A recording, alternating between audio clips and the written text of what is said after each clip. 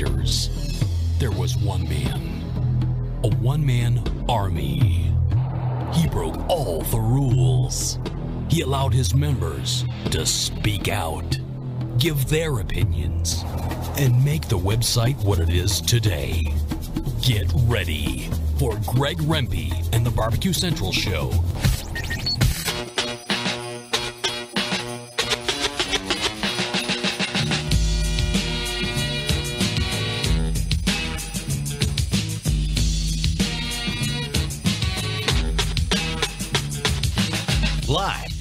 Cleveland, Ohio, it's the Barbecue Central Show. All right, welcome to the Barbecue Central Show. Let's get it as we race into the holiday season. It's the Barbecue Central Show, the show that talks about all things important in the world of barbecue and grilling, originating from the Rock and Roll Hall of Fame city of Cleveland, Ohio, barbecue capital of the North Coast. I am your program host, Greg Rempe. Happy to have you aboard here on your Tuesday evening. Welcome in. You want to jump in? Happy to have you. Phone call it 216 220 0966.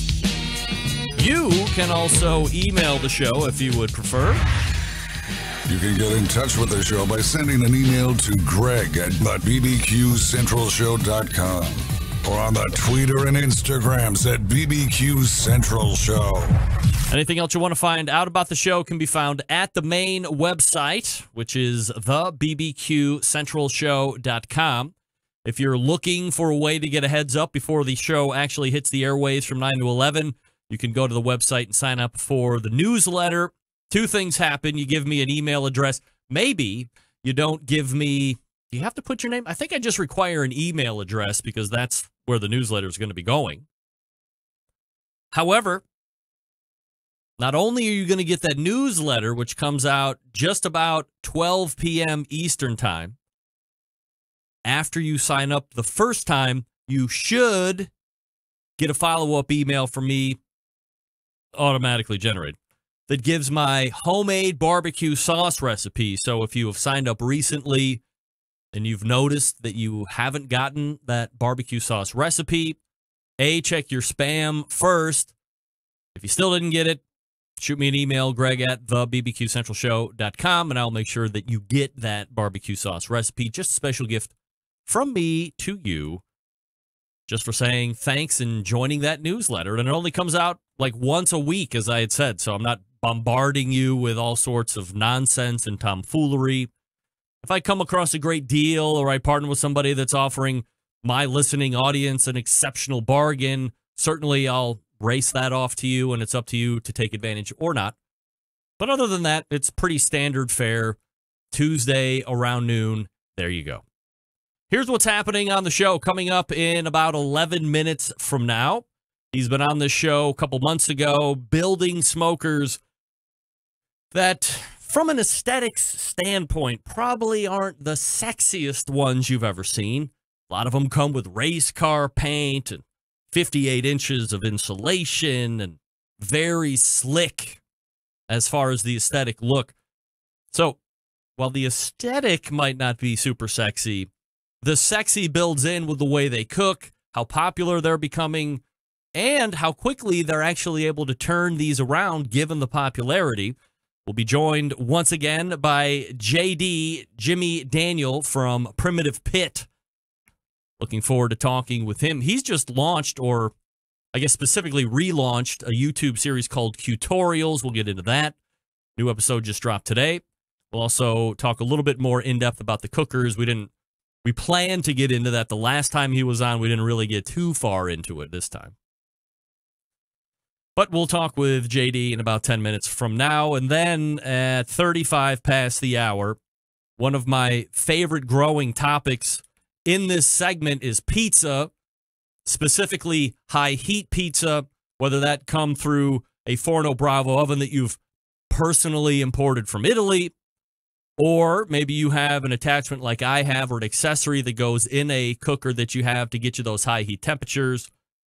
And instead of being lazy like me, and I say lazy in the fact that I have a great Italian grocer a half a mile from my house and I'll go buy the pre-made pizza dough balls for 89 cents each.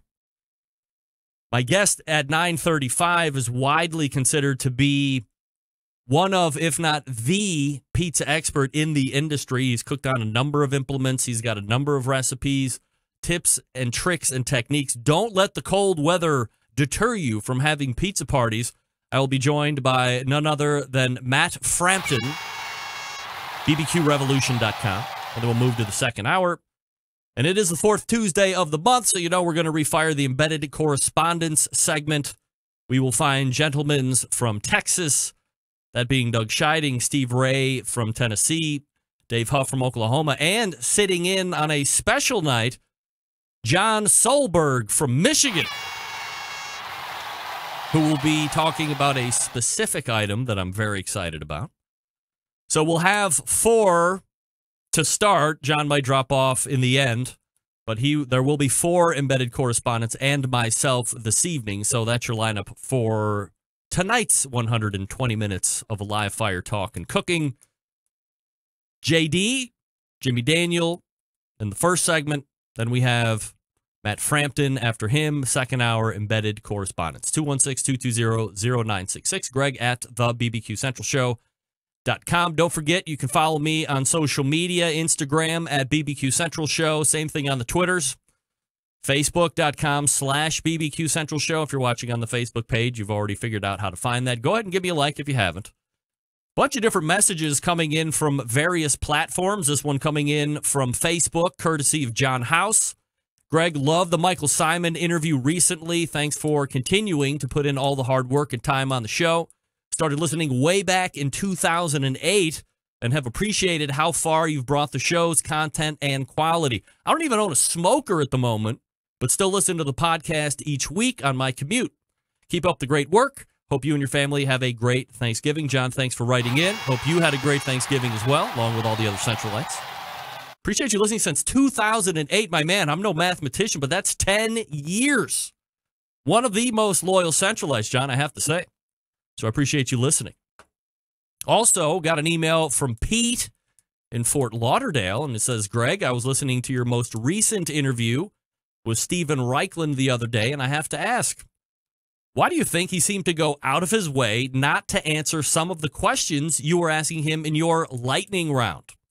I think they were all pretty innocuous and not too controversial by any stretch. Everything up until then was great, but not answering some stupid questions for fun seemed a bit stuffy to me. Just wondering if you had a take on it. I always podcast the show. Thanks for giving me content to keep me running through my day. Keep up the great work. By the way, not that you asked, but the addition of the best of show this year continues to show us why you lead this arena, and the rest weekly follow behind, way behind. Regards, Pete in Fort Lauderdale. Pete, thank you. And of course, I have a take on why Steven didn't answer like three or four of those 10 or 11 questions that I asked him. I don't think Steven is out to try and even remotely look like he might be offending anyone. So instead of just picking an answer, I mean, look, if you're tuning into the show and you hear me say, hey, you want to do lightning round? That should immediately be for entertainment value. So I will always operate on that. If I'm being interviewed and somebody says, let's do a lightning round, I'm going to answer A or B because that's the spirit, the fun of that whole lightning round thing, which, by the way, we'll be doing again this evening with my guests. So I think to have me ask Steven, would you pick Bobby Flay or Alton Brown? He doesn't want to pick one over the other. So he says, I like them both. As he said, with uh, he didn't want to offend Sazerac or Old Fashioned. So he said he would have one of each. I don't think Sazeracs or Old Fashions have feelings. He might. So I don't think if it can perceived if it can be perceived in any way as a slight, Stephen will steer away from that. He's not trying to be controversial. He's still trying to appeal to everybody. That's certainly his prerogative. I, on the other hand, will give you if you ask, I will answer. Keep that in mind in real life. If you ask me a question, I will give you an answer. It might not be the answer you're looking for, but don't ask me if you don't want an answer. Final email coming in from Nate in Kennesaw, Georgia. Nate, I used to work for a company that was based out of Kennesaw, Georgia, and they tried to screw me out of money. You can believe it or not. Greg, loved your interview with Melissa Riome, the grill mama, last week. She was very gracious with her time and even more generous with her knowledge, especially when it came to the social media stuff.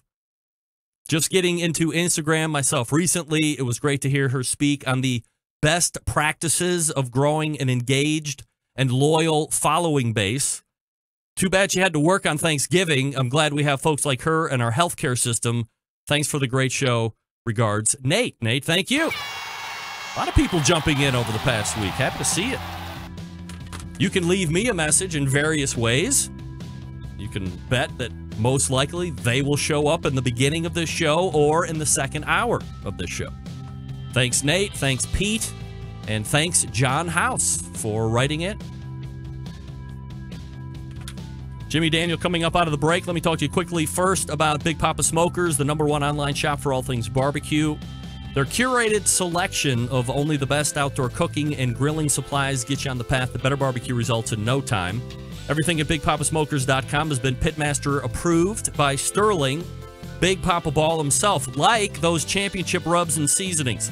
Popular flavors like Sweet Money, Cattle Prod, Cash Cow, all proven winners on the competition circuit and in my backyard. Big Papa Smokers offers 13 perfectly balanced flavors that will transform ordinary meals into extraordinary. Whether you're cooking to impress the judges or your friends and family, Big Papa Smokers award winning rubs and seasonings just don't disappoint. You can also pair them up with simply marvelous barbecue rubs, and now you are using what's called the West Coast offense, however you see fit. They also are the proud owners of Granny's Barbecue Sauce. Looking for a new go to barbecue sauce that pleases everyone? Granny's traditional yet powerful flavors remind us why we fell in love with barbecue in the first place. Find Granny's Barbecue Sauce and other top rated barbecue sauces at BigPapaSmokers.com. And aside from those rubs and sauces, Big Papa's also offers the very best pellet, charcoal, and wood cookers available today. If you're looking for a versatile smoker that's easy to use, check out the MAK 2 Star General Pellet Grill. Big Papa Smokers is the exclusive MAK dealer and even offers special packages. Nobody else doing that. Not a fan of pellets? Fine. Take a look at the Old Hickory Ace BP, the only charcoal smoker that Big Papa trusts on his competition trailer. And if you're a backyard enthusiast like me looking for a durable and versatile grill that will last forever, the M Grill from Texas is just what you need. They're built like tanks. Not sure what kind of grill you need? Here's the truth you really can't go wrong with any of those cookers featured on BigPapaSmokers.com website. They have something for every kind of backyard cook and budget. So here's the deal boost your barbecue skills with the help of Big Papa Smokers, the number one online barbecue store. Call them toll free with questions. 877 828 0727. Say it with me 877 828 0727. Or shop their website, bigpapasmokers.com. That's B I G P O P P A smokers.com. We are back with Primitive Pits. Stick around, be right back.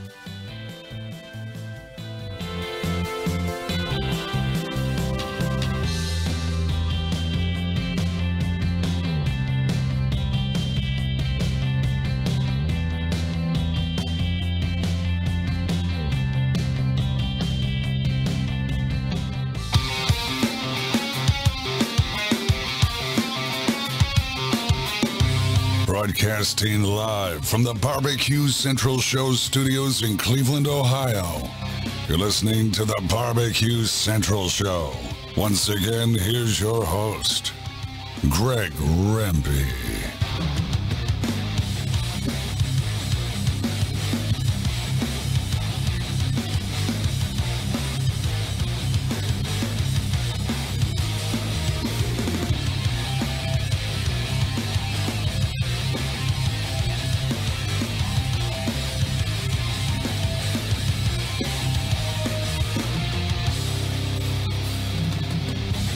Welcome back. This portion of the show being brought to you by Butcher Barbecue, makers of award winning rubs, sauces, spices, injections, grilling oils. All the Butcher Barbecue products tested on the competition circuit as well as in the backyard. You can check out butcherbbq.com to stock up now. Always trust your butcher. All right. My first guest tonight going to pick up this conversation. Has anyone noticed that some of the most popular offsets are Texas style offsets? My next guest falls into that arena, but think their cookers are pretty damn sexy too. I know I do. So let's head to the Traeger Grills hotline and whoop, welcome back, friend of the show. And hopefully we hear him this time right out of the gate. Can you hear me? I can. JD is in. JD, how are you, buddy? What's going on to all the Centralites? We are excited to have you back in, JD. So, you know, let's put the pit stuff on hold just for a second and talk about something. I want to say it's new, right? But I mean, it's kind Nar- of new to us. That's right. Of course, that's like the best thing. That's why I have my show for the last number of years. Uh, you have a quote unquote new show on YouTube called Tutorials. And I say quote unquote new show because it was actually something a number of years back that you already did, and now you're refiring a pretty successful idea. So I guess first and foremost, tell me a little bit about that original concept and when it started, why it went away, and why you've brought it back. Well, um, I have a real early history with YouTube because of my music business past. We broadcast some of the first concerts and put some of the first concerts on YouTube. And I've had this infatuation with carrying cameras around for 20 years. And my wife will tell you it's partly annoying and she's grateful that I've got them. So we started doing this version of tutorials in 06 till roughly the end of 09 and uh, it was more of uh, alcohol-induced backyard barbecue. It didn't have any kind of uh, structure, and it was uh, really just a bunch of good friends. And we didn't do it uh, very consistently, but we had a lot of fun, and we pulled it off. I pulled it off based upon uh, being in the rental business. I didn't want anybody to stumble upon some of these videos and think I was a total buffoon. But we ended up, you know, that's just kind of uh, bringing it back based upon just a passion for live fire cooking. And we have so much fun doing this. And we're going to do kind of the same thing, but more structured.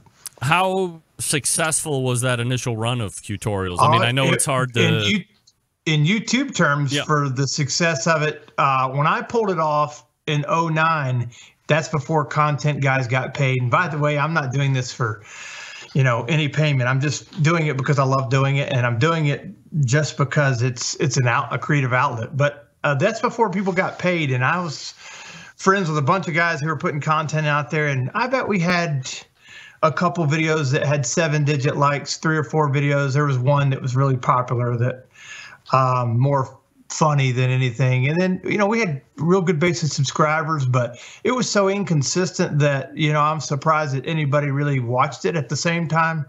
I remember, uh, you know, a few times going, "Whoa, this is this is this is something real," but back in that time in 2008 and 9 youtube was still a platform where you know it wasn't very good video and quality wasn't quite where it's at today. And now it's it's competing with major networks and you know but i i love it. I mean i've been a part of youtube as far as the talent music. I've probably got 50 broadcasts musically that are up. Um, you know i see them on youtube i just was watching watching one the other night that um, great it was actually watching on youtube was better than watching on tv Yeah, right. Uh, Primitive Pits joining me here on the show, Jimmy Daniel. Uh, Jimmy just released, I believe it was today, was your kind of a, uh, would you call it a deconstruction of a Yoder's offset pit? Yeah, Tutorials is a video blog of just really trying to cover the the the people and the techniques and the tools of of live fire cooking. And I'm really going to stick around the live fire cooking part of this thing. But I got a friend of mine, Jeff uh, Jeff Hurd. Uh, he's out there now. Uh, he he and I have been friends for years. He started talking to me about you know this smoker he had, and and um, I'd read a lot of great things about him. And it's a really good smoker. You can learn how, you can learn how to smoke on anything as long as it draws uh, from the firebox to wherever it's exhausting. But uh, he's real meticulous, and you know, he's if you ever go into his shop, he's in the in the grading business, and he's got all these, you know, real uh, I guess set, set up with his tools and whatnot that will tell you that he's kind of a little bit AR. But um, he told me, he said, "Man, thing's not and bit." So I took a look at it the very first time he's cooking. I was like, "Man, the thing's got a tuning plate in there," and I just might just pull the tuning plate. Well, he pulled the tuning plate out, and it didn't really um, do much for him. So this summer he brought it to us, and I cooked a brisket on it. I said, you know what? Before I go cutting into this thing, it was beautiful. It's a beautiful looking smoker. I said, I just want to, you know, cook on it. So I cooked on it and made notes, which you should always make notes because that's the key to good barbecue. Right. Um, is is filled up my notebook with some stuff that I would um, think, you know, modification would be nice to do, and we we finally got around to doing it over Sunday, I guess, and and uh, invited Chris over. And Chris is like, I'm like you, I don't want to be on camera, but I'm really not going to be on the camera. And uh, we had a good time doing it. We spent probably two hours to do the whole modification, a little bit more than two hours. And um, I'll cook on it in two weeks. And um, I'm going to give a real blanket, straightforward uh, response and answer back to Jeff and publicly about how it smokes. It might be a complete bomb. I've got a feeling it's not going to be based upon it's now set up to where I know how to cook on that particular setup. Hmm. It's kind of like any other device, whether it's a golf club, a fishing rod, a tool. If you know it and how it's set up, I know it. I'm going to be able to manage the fire and probably do okay with the brisket. Jimmy Daniel joining me here on the show. PrimitivePits.com is website if you want to check it out while we're talking. Um, so let's go ahead and uh, so uh, sorry. Let me ask you one more question about the tutorials. Is that something that you're going to be releasing weekly, or I mean, you know, that's like every the whole deal Tuesday's now, right? The goal. Okay, so every Tuesday. Uh, every Tuesday's the goal. I literally stop and try to take about a 45 minute lunch, or you know, we'll just goof off and do do it then. And then on Sundays, um, but yeah, every the, the goal is every Tuesday, and I've been planning this for no joke for five years. Um, and and it's just finally like you know what I'm gonna do it, and it, it is something you know I spent my whole career on the other side of the camera, and you know uh, I'm sure a lot of folks probably have an opinion on man, you know how do you get in front of a camera and do all that stuff? Well, it's very uncomfortable, but it's it's an exercise of uh, learning how to be a narcissist.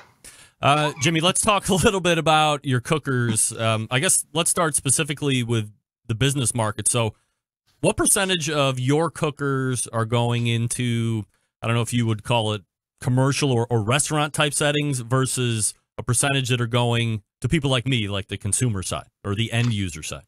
Well, we, we did launch this summer in uh, July, uh, a consumer side, but we have been catering to the restaurants and caterers, and that's about 95% is going into restaurants. Wow. And some of them are catering and pop up guys, but everything's going into the commercial setting. We'd still sell babes and we still sell the, uh, I, I consider our Bubba, the 250 model, to be really a small commercial unit. There are four or five people that have them in their backyards and uh, they're, they're backyard cookers. There's one guy in El Campo, Texas, that's got a babe and a uh, uh, 250 in his backyard, but everybody else is pretty much it's a commercial. Five hundreds of thousands are commercial. Is there just better margin in commercial stuff, or is it just you get your hands on bigger tanks easier? Like, what's the yeah? Or is that just um, how you started, and, to, and that's where to, you keep?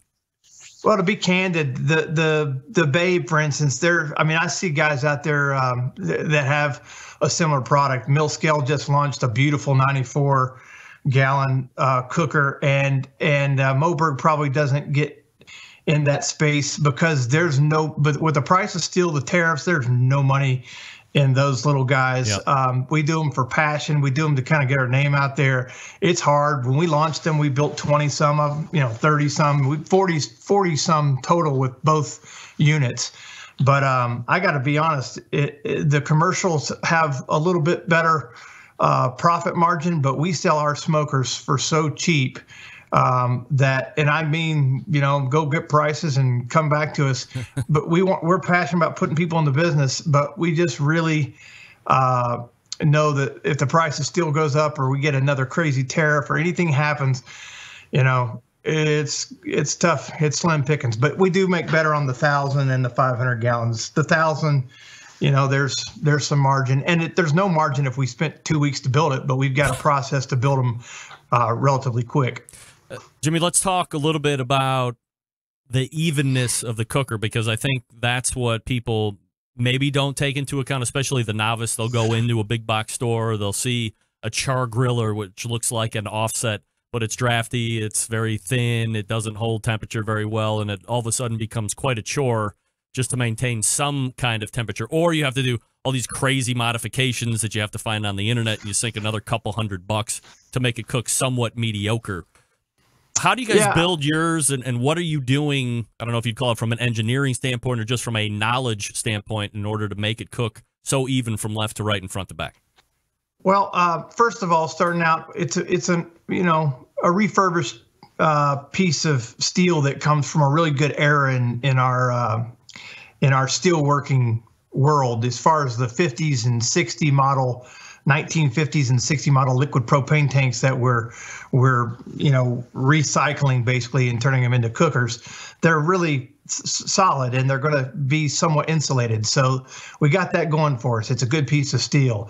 And where I think a lot of people get into trouble is their their steel's not very thick. So when you start putting heat and you know it's like a jet engine, you're going to lose stuff as it goes throughout the chamber. So one of the things that we try to do is we've trying to be really scientific with how we put the firebox onto the chamber and the smokestack draw. There's a bunch of different philosophies and opinions out there. We've just found what works for us. Matter of fact, we're working with a guy right now um, who is a CFD um, engineer, which stands for Computational Fluid Dynamics. Matter of fact, his NASCAR team at Penske just won the championship last weekend, and he's a Georgia Tech guy that's that's helping us understand what goes on inside of a smoker. Because myself, I've owned a bunch of smokers from from uh, reverse flows and all these different types of smokers throughout the years, and if it looked cool and if I thought it was going to do something great to the meat, then I bought into st- you know just the idea of oh yeah, it's going to you know my Weber whatever's going to be great. Right.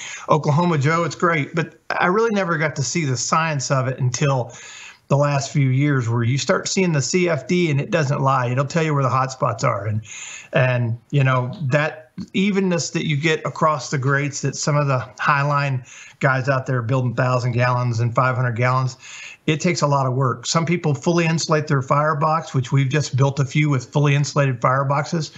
I'm not a personal uh, fan of it but my client wanted them and uh, we like the semi insulated firebox because it it breathes a little bit and it helps it burn a little bit more even to to reduce some of the hot spots but it's just really hyper detail. And you know there are guys out there in their garages that are building cookers and you know you may not get it right the first time but you're going to realize where the problems are if you cook a lot. So then you'll start making the modification. Take notes and um, you know that's how we've gotten to where we're burning plus or minus three or four degrees across a 12 foot grate Jimmy, let's talk a little bit about building a fire and then maintaining a fire, especially in offsets.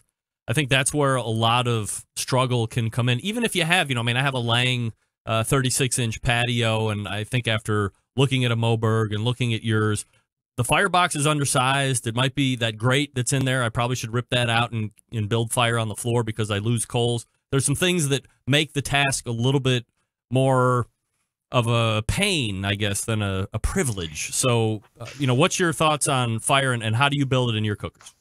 Well, um, you know, I always uh, when I approached it with just kind of a, uh, a minimalist mentality. My dad actually taught me to build a fire, and he always said, "Man, start out small and grow your fire small, and you'll end up with a really even cook." And of course, I knew it all in my 20s and 30s. I would be the guy that literally would throw twigs and sticks and throw a few logs and hit it with lighter fluid and just all the things that you know ruin barbecue. So really, I think the process that gets your your smoker uh, pre-seasoned and ready for meat is just really starting out with shavings.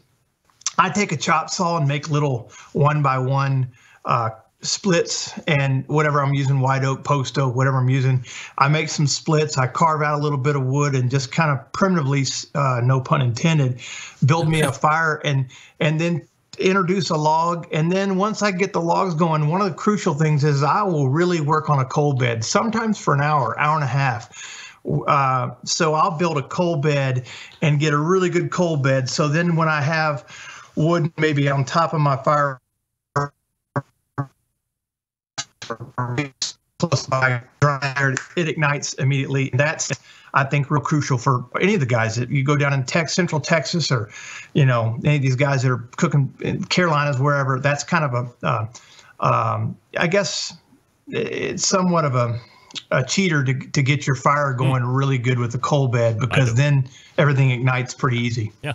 Um, except for wet wood.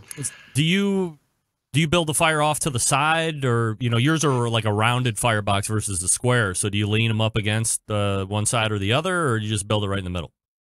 No, I built it right in the middle. That arch, um, I just did this video blog, the vlog today in tutorials, and I think I mentioned it about the, that Yoder.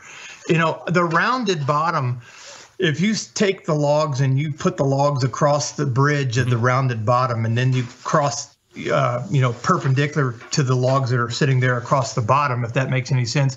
Once you get the fire going you get oxygen and airflow up underneath those coal beds.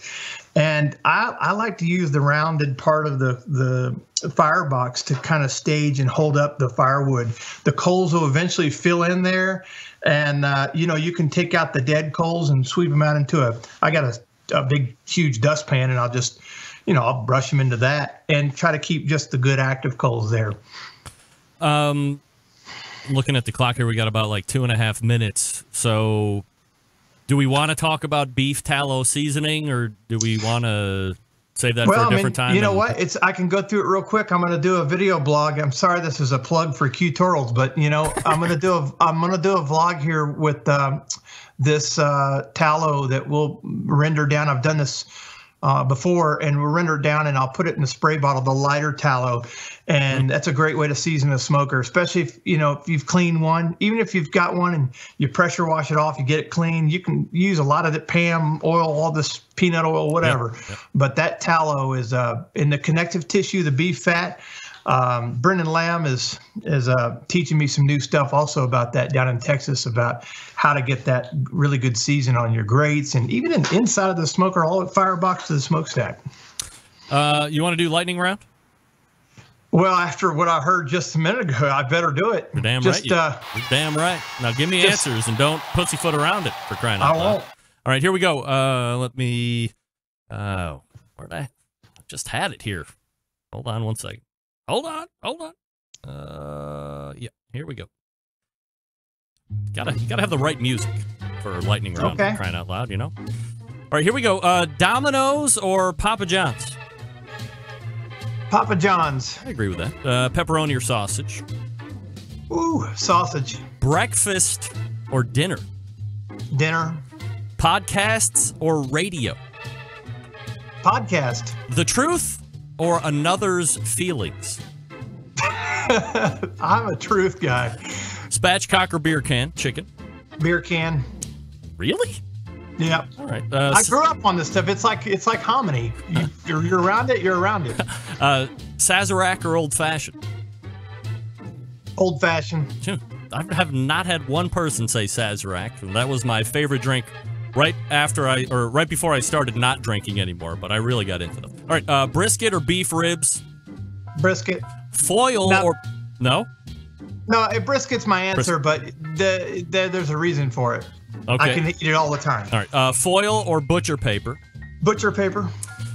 Uh, ribeye or the field? Ribeye. In a pan or on the grate? I like both, but I'm gonna go with the grate. And finally, open pit or Sweet Baby Ray's? Open pit. What the hell is wrong with you people? I've asked this question since my I- interview with I'm Michael not the only one to say open pit. Sweet baby Ray's. No. is- I'm telling you, the last two and a half weeks that I've been doing lightning round, and it started with Michael Symon. Everybody's picked open pit. Am I missing the boat here, JD?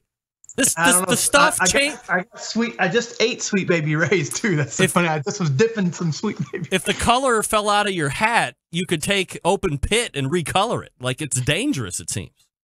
Yeah, it is. I'm trying to- That's It seems like I I'm trying mean- to talk you out of it, but I'm not. I just I'm surprised that many people are open pit fans. yeah. I, I mean, I am.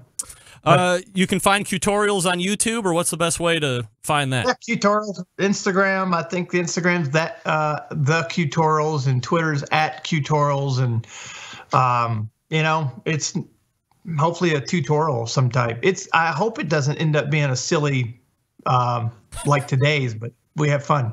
All right. Well, you can find everything you need. Primitivepits.com is the website if you're looking for a, uh commercial cooker or something in the backyard. They're doing those too. It's uh, JD, Jimmy Daniel. Jimmy, always appreciate the time, man. Thanks so much. Man, thank you so much. Appreciate it. You got it. There he is, Mister Primitive Pit, right there. All guests appear via the Traeger his Grills cooker. hotline. the commercial aspect, uh, how they're able to get their cookers to go. He said plus or minus three or four degrees from left right on 12 feet of grate. Uh, John, I'm just seeing your biscuit test question. I apologize. I'll send him an email though. I bet he, I bet he buys into that. I bet they test that. Matt Frampton and pizza coming up out of the break. I want to talk to you quickly about Cook Shack. They manufacture smoker ovens for barbecue lovers with any amount of experience, whether you backyard barbecue or you do it on the competition circuit or in a five star dining facility. Cook Shack has the unit that will do the job. And with a full line of barbecue sauces, spices, pellets, and wood chunks, it's the perfect one stop shop. Cook Shack strives to be your barbecue resource center by offering cooking classes, online recipes, how to videos, two blogs, smoke and grilling 101s, and a video cooking classroom. You can check out their website at cookshack.com or follow them on these social media platforms. How about Instagram or Facebook, YouTube, Twitter, Pinterest, even Google Plus? Get advice and share your passion for barbecue on their world class barbecue forum. Cook Shack pellet fired smokers are the choice of champions because they were designed by a champion at Fast Eddie Maurin and the FEC 100. PG 1000, always customer favorites. The PG 1000 can double as a smoker and a grill. You can do it low and slow, you can do it hot and fast. In essence, the pellet grill line gives you the most for your money. Now, if you don't like pellet cookers, that's fine. Maybe you like electric. Well, did you know that Cook Shack makes the most popular, number one rated electric smoker in the industry? They do. High quality means high durability and versatility. Anything you can cook in your oven, you can make in a Cook Shack. Passion and dedication drives Cook Shack's manufacturing, with quality always being at the forefront. Get the best in barbecue since 1962. Call 800 423 0698. That's 800 423 0698 or visit cookshack.com. Matt Frampton coming up. Stick around, we'll be right back.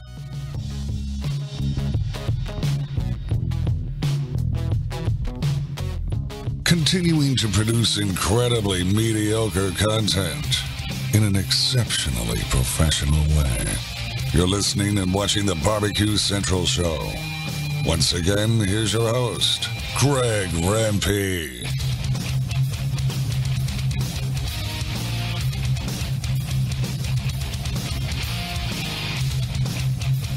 All right, welcome back. This portion of the show being brought to you by cookinpellets.com, your number one source for quality wood pellets for all of your pellet driven cookers.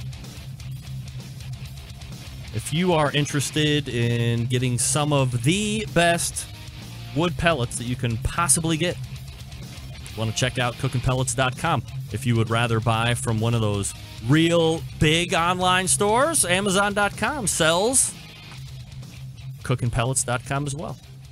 I'm stalling because my Skype is not working this evening very well. Stalling out after each guest. So now I have to find Mr. Frampton. Uh, let's go up to the search here. Type in his name because I know I had him saved in my favorites, but no, it's just not working right now. What can I tell you?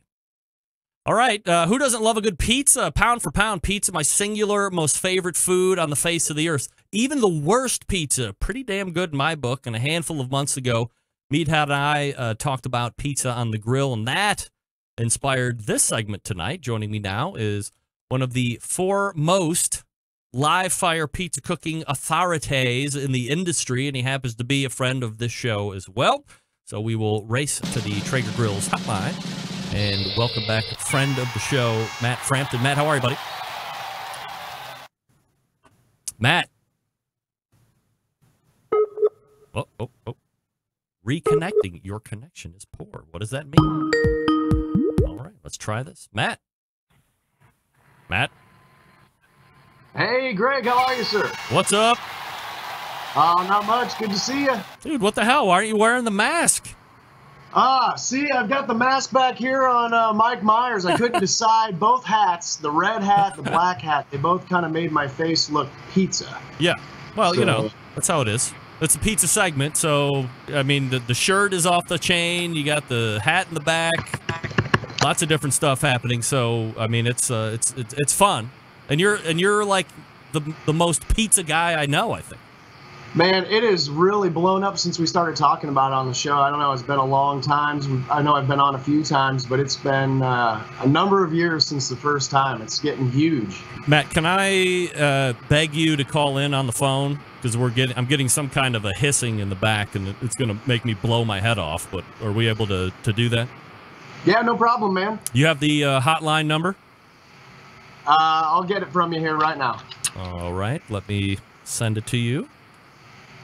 Uh, all right, uh, 216 220 0966. Gotcha. On the way. All right. There's just no way I am putting you people through that. There's just no way. I'm not doing it. Heidi ho, neighbor. Hey, how you doing, All sir? right. Sorry way, about that. Way better. Appreciate you doing that for me, Matt. Yeah, no problem. Good So- old Skype problems. Was um was pizza always your jam? And you know, so for the folks that don't know, like I was originally introduced to Matt Frampton through the team Hot Grill on Grill Action. Uh, that was were you guys on television? Matt? Yeah, hot grill and grill. Yeah, hot grill and grill action. Yeah, were you guys on television at one point or or no? Yeah, we were on Barbecue Pitmasters um, that's years right. ago. We started the team in 2005, and uh, that was kind of where it all started. But now I kind of have a unquenchable thirst for pizza. All right, so let's first quickly talk about equipment and especially let's talk about cookers. What have you cooked on and ultimately what have you found that works best right now? I'm sure there's equipment that's constantly being worked on or being offered into the market that you're probably testing, but what have you find that works best right now? Yeah, you've really got a few choices, and you've got the grilling options, which you can do right on a gas grill or a charcoal grill right on the grate. You've got the pellet options like the Green Mountain Grill and the Ooni. And then you've got a baking option, which you can use an egg or a primo. I like to use my PK. So you go right on the grill? Yeah, for all of those. Now, I'm a real big fan of the um, higher temps, so 800 plus. And for those, I'll do um, either on my kettle pizza, which is an insert for the Weber 22, or on the Green Mountain Grill pizza insert. And both of those you can get up into the seven, 800, even 900 range if you run it the right way. And with that, you get a uh, anywhere from 90 seconds to uh, a little over two minute bake. All right, so uh, I'll actually talk to you in a couple minutes about where you run temperatures at and all that, because I have my own questions. Because I also have the Green Mountain Grill pizza oven insert. But let's uh, talk now about accessory or ancillary items that you need in order to make a pizza cook successful. And these would, I guess, range anywhere from peels to graters to pizza cutters and things like this. I mean, obviously, it's probably somewhat like barbecue and, and competition barbecue, where gadgets all of a sudden outcost everything else that you get into when it comes to pizza making. But what are like the key things that you need to have? Yeah, you hit on most of them. I'm, it's too bad we couldn't do the Skype. I actually brought props for all this. Nice, but, of course. Um, so for you know, for building a pizza, I like to build a pizza on a wood peel. Um, you have a wood peel option, you have a metal peel option, and if you're going to build it on a peel, the wood is more forgiving to get the pizza slid on and off. So if you don't have a wood peel, you're going to be using a lot more cornmeal and flour to try and get it off, and that can be um, dangerous in and of itself. So should you and have to should you the have pizza both? off? You'd use a metal. I, I would highly recommend having both. Yeah. Okay. Yeah, because I just bought a metal one and I I shied away from the wood one because it didn't seem like this is going to sound really stupid now that I'm going to say it out loud, but it didn't seem like the wood one was going to get underneath the pizza as well as the thin metal one or aluminum one. But I guess that's not the case as long as you like coat that leading edge with your uh, cornmeal or whatever.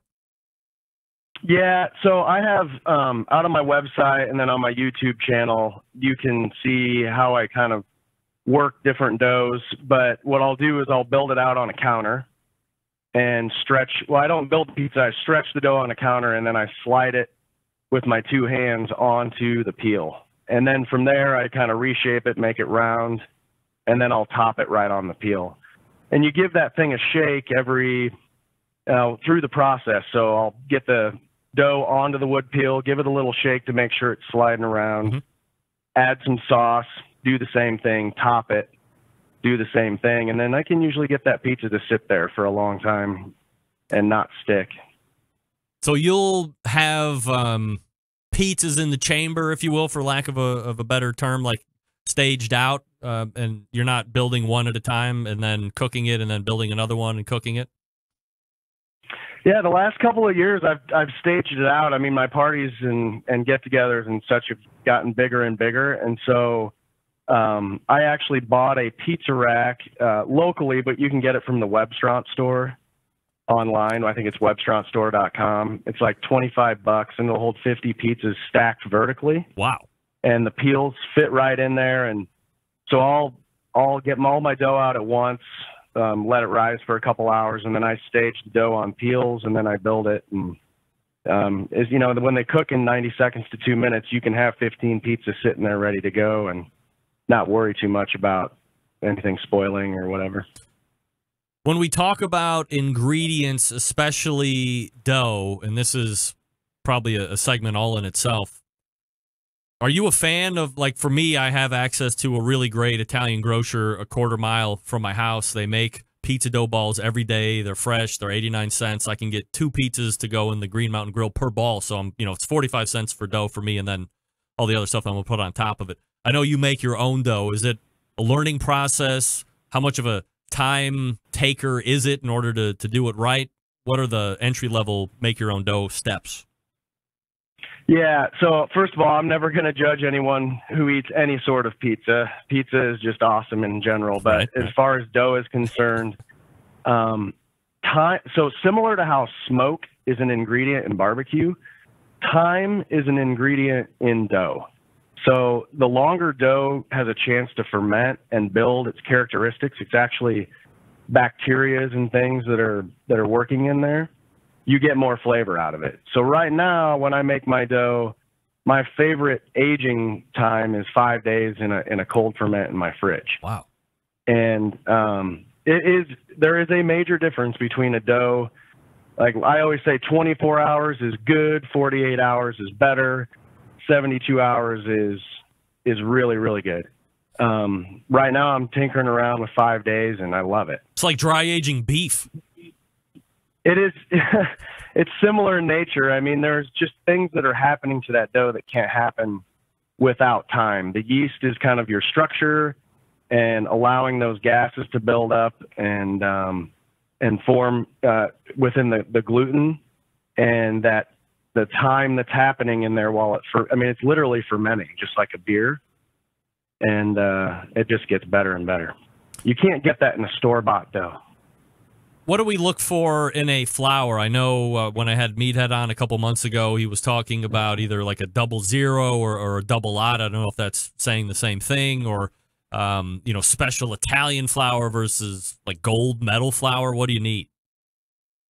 Yeah, and so uh, double lot and zero zero are the same thing, and what that is is the grind of the flour. That's how that's how fine it's ground down, and the the flour that I like to use is readily available on Amazon. It's hard to find anywhere locally, at least here in Omaha. Hmm. It's Antimo Caputo Pizzeria flour, and if you can't find that, I mean, a good bread flour, a high a high gluten bread flour, something like King Arthur, their their blue label bread flour. That I mean, I'll use that in a pinch, no problem. But there is a, a again, kind of like the aging of the dough. There's a big difference between how dough feels when it's made with that double zero flour and how it feels when it's not. And all-purpose flour is not the right flour for any kind of pizza. So you make the dough in a batch and then like cut it out into the sizes that you want and then start aging at that point or you just age it as all like one big ball or what do you do? You can do it both ways. Um, I personally make a big batch. I do a very short rest, about 30 minutes after I make it, and then I split it individually and I put it in 32 ounce containers that are they're like to go or like meal prep containers. I put it in those. I oil, oil the dough ball up and stick those in my fridge, and then I can take them out one at a time. Do you have to let them heat up? Do you take them out of the out of the uh, refrigerator after they're doing the cold thing, and then uh, do you want to bring them up to room temperature a number of hours prior? You know, I, I always seem to draw it back to some kind of a meat thing, like people take their steak out and let it come up to room temperature, like a similar idea, or no? Yeah, very very similar idea. I don't I don't take it quite to room temperature. I um, my refrigerator is set at 34 degrees. Uh, when I take them out, I like them to get up around 60. Um, so not quite room temperature. It takes about 90 minutes to do that. That's 60 degrees in the center. It makes it um, much more workable. If you don't let them sit out for an hour and a half or two, you have a, a dough that's tough to stretch. It can tear. Is that a So, rising thing when you're um, letting it come up to room temperature? Does that a rise thing? It rises. Yep. It's so the yeast is all activated. Um, it's more alive the warmer it is, and so it starts to go dormant when it gets cold in the fridge. It's not dead or anything, but that rise in temperature makes it more active. It comes alive, starts eating the sugars in the flour and the carbohydrates in the flour, and um, it's putting off a gas to, to create those bubbles. Uh, do you do a double rise with a punch down? I do not. I like to take mine out, let them sit for 90 minutes to a couple hours, and then I set them right on the the the work table, and I press from the middle out.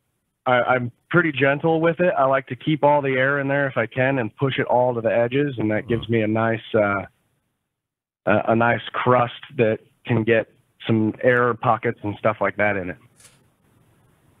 I, I find it incredibly difficult when I have my uh, you know ball that I get from the Italian grocer, and I, I'll let it sit out for you know an hour or whatever, and it gets bigger, and it you know it's harder to get out of that plastic bag. I cut it in half, and then I want to start making my you know round dough pie.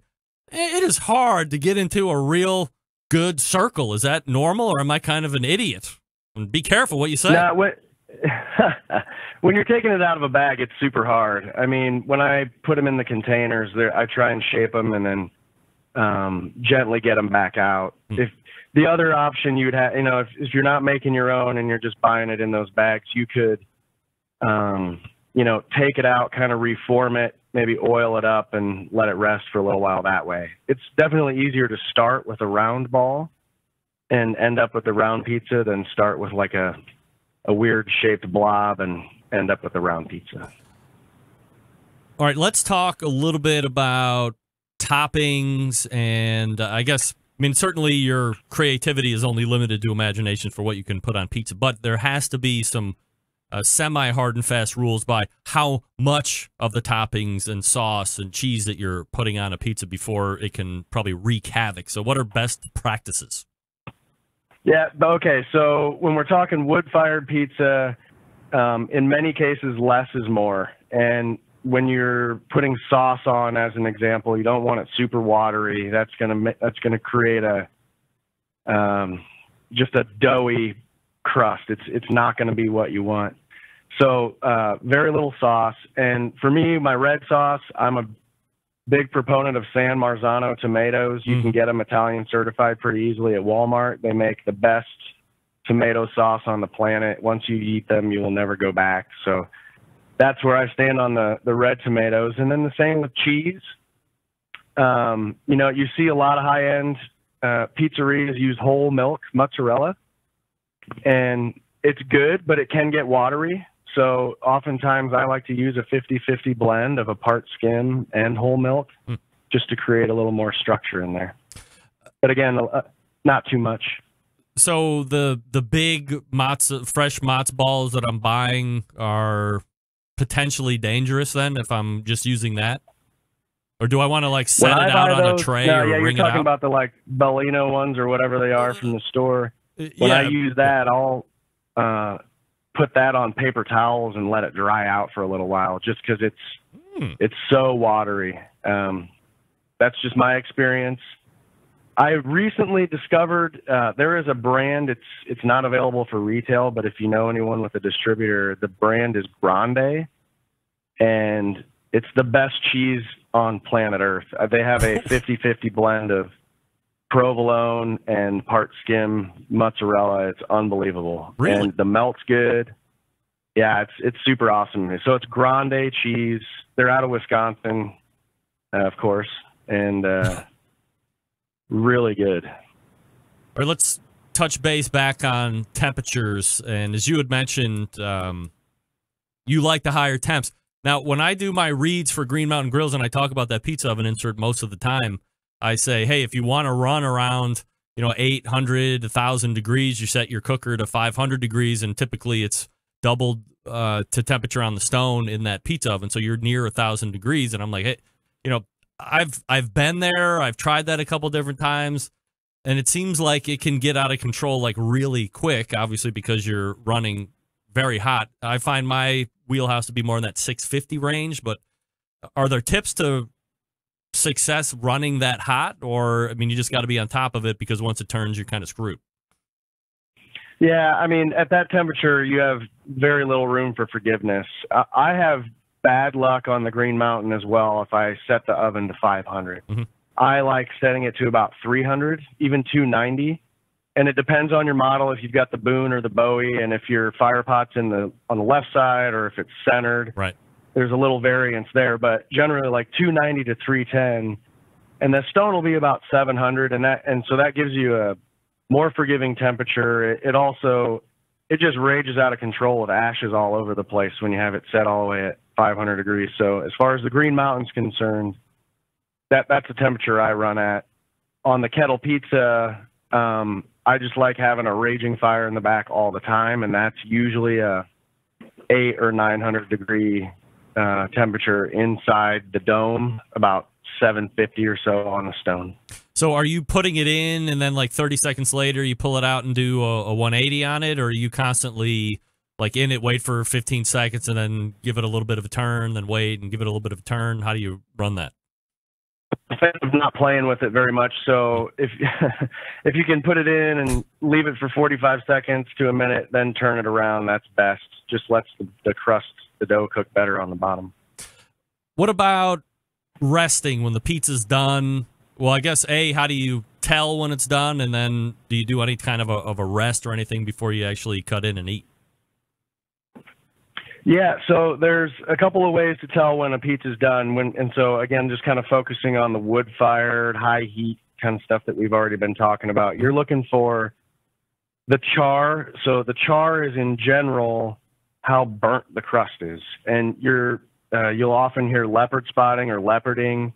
That's little black dots that you'll see on the on both the underside of the dough, often called the undercarriage, and then the edge of the dough. If you want the Italian term, it's called cornicione Hmm, I knew that. and that yeah and so uh that you're looking for those kind of dark leopard spots all the way around the edge um that'll tell you that's done and then of course if your your topping and your your cheese is melted um then you know i i don't let mine rest very long maybe 15 seconds i slice it and serve it What's your favorite pizza right now? What are you making?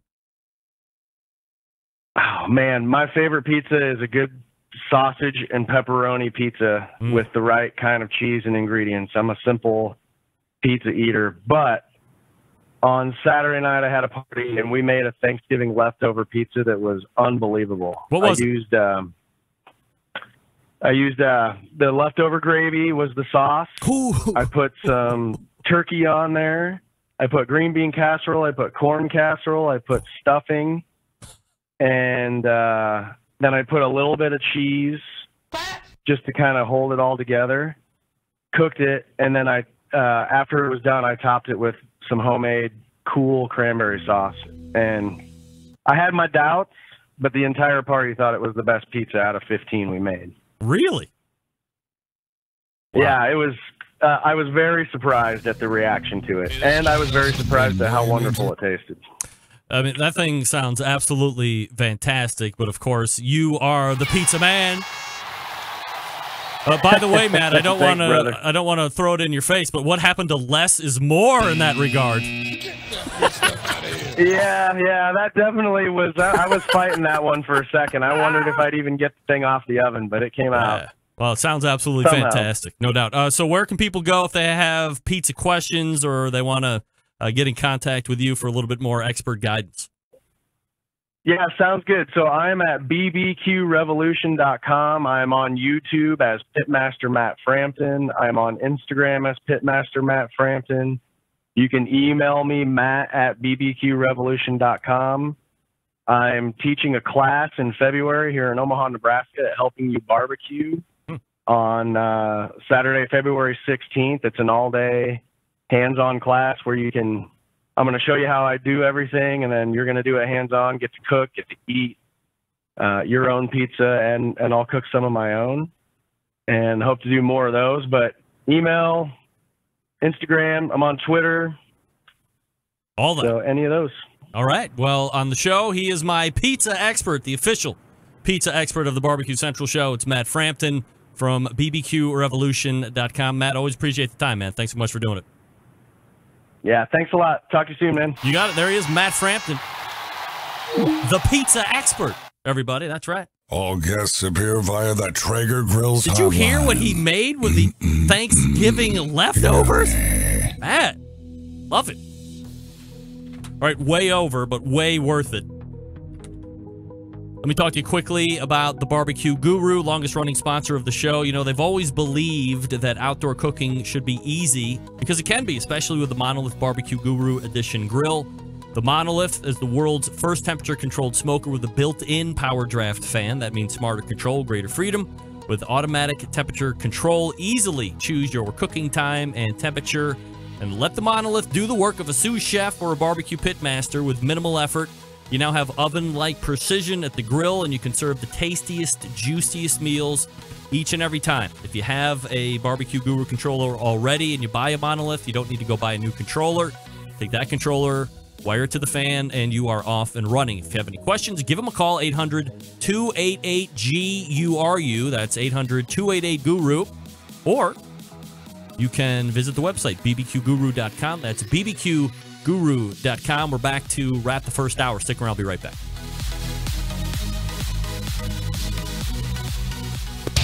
Big name interviews, advice on cooking brisket and ribs, and the only host willing to share his honest opinion on all things important in the world of barbecue. It's the Barbecue Central Show. Welcome back. Again, thanks to Matt Frampton from A Hot Grill on Grill Action and his website, bbqrevolution.com, for all of the pizza talk. Let's go ahead and uh, get out. We have the embedded correspondence segment coming up in the second hour, which is already the second hour, and four minutes in. Again, Matt's website, bbqrevolution.com. That's BBQ Revolution. And thanks again to JD, Jimmy Daniel, for talking about Primitive Pits again. PrimitivePits.com. Again, uh, he's like seven to eight weeks out. So even on the big ones, they're trying to make that turn time quick. All right, uh, we are real late. I will go back, try to get back on the clock, and then hit the embedded correspondence. You're listening to the Barbecue Central show right here on the Barbecue Central Network. Stick around, we'll be right back.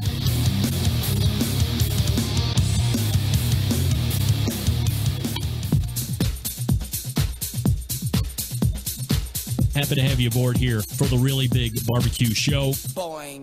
We cook because we have to, and we grill because we want to. Hit me. Fine, how's it going? You have a great show. I'm a big fan. Boing. So what what what seems to be the problem here? This man looks like he's dead and he's in the in the crackle. Charbono. It's all about the Charbono, dude. Succulent fish. What? He ate two feet or wiener. But listen, Lavernius, shut your face. I'm shaking like a dog shit peach seeds. We have top men working on it right now. Top men. And just like that, we are into the second hour. You have found the Barbecue Central show, and we talk about barbecue stuff and grilling stuff. Why, just last segment, we talked about pizza stuff that's on your barbecue and or grill. Or maybe you have both, and you do it both ways. I'm trying to figure out how I cut my pinky knuckle. Hurts really bad. Maybe it was when I was trimming down the rose bush over the weekend. Still to come, the embedded correspondence segment in about nine to ten minutes from now. Doug Scheiding from Texas, Steve Ray from Tennessee, Dave Huff from Oklahoma, and John Solberg, who also creates your best of show from Michigan. Don't forget, you can follow me socially on Instagram and Twitter at BBQ Central Show or Facebook slash BBQ Central Show if you're watching the live feed on Facebook. Thanks for tuning in. Happy to have you.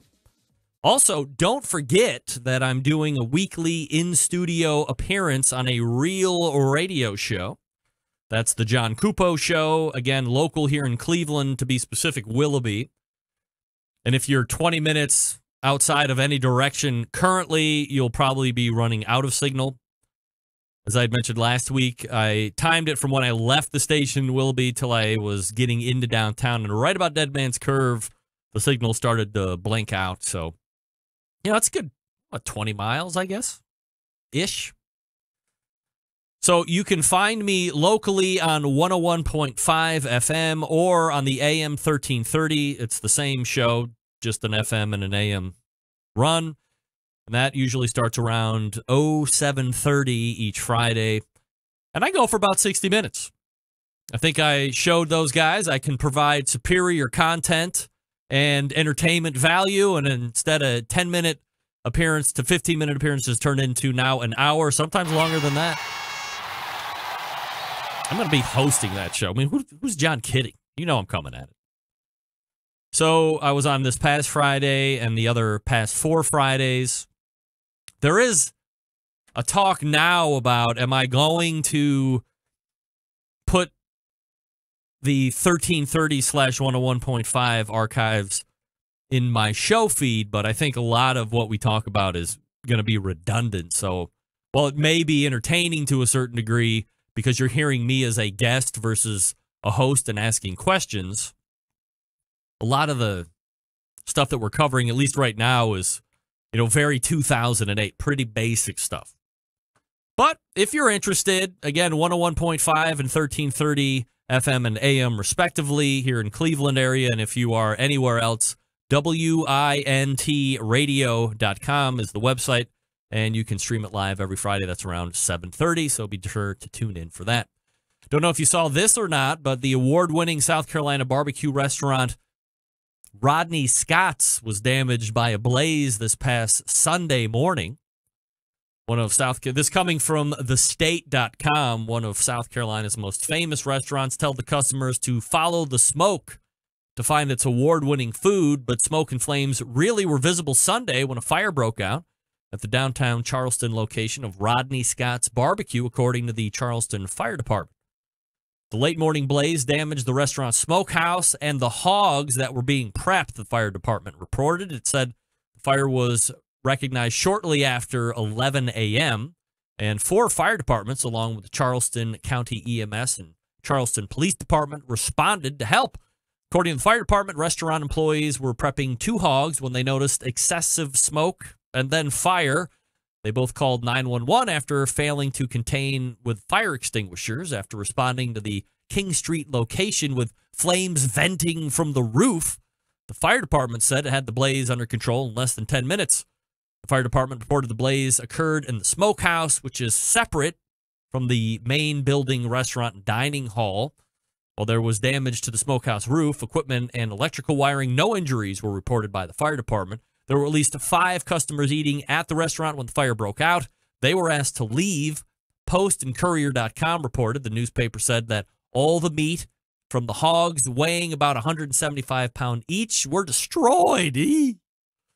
Fire marshal division will determine the cause of the fire and its origin. The restaurant owner had its own electrician begin inspecting, removing, and replacing damaged wires in the smokehouse, according to the fire department. Rodney Scott is a James Beard award winning chef, if you didn't know, and according to the state, named best chef in the Southeast. Known for his whole hog barbecue, Scott's the first African American to win the Southeast Award and the only and only the second barbecue pitmaster be recognized by the James Beard Foundation, the state reported. Is that true? I thought Tootsie was. Oh, she was in the running for Southeast, but Rodney Scott won. I think Aaron Franklin, obviously, is the only other one. So there you go. If you were heading down to Rodney Scott's in Charleston, then you're going to want to call first to make sure that uh, things are worked out, or maybe they're going to be closed for a little while. But that's a shame. Kind of an iconic or growing to be iconic place. Uh, Rodney Scott, award winning. So there you have it. I was going to talk about Weenie Rub, but that'll have to wait until next week. That's a real thing, Weenie Rub. I'll be talking about it.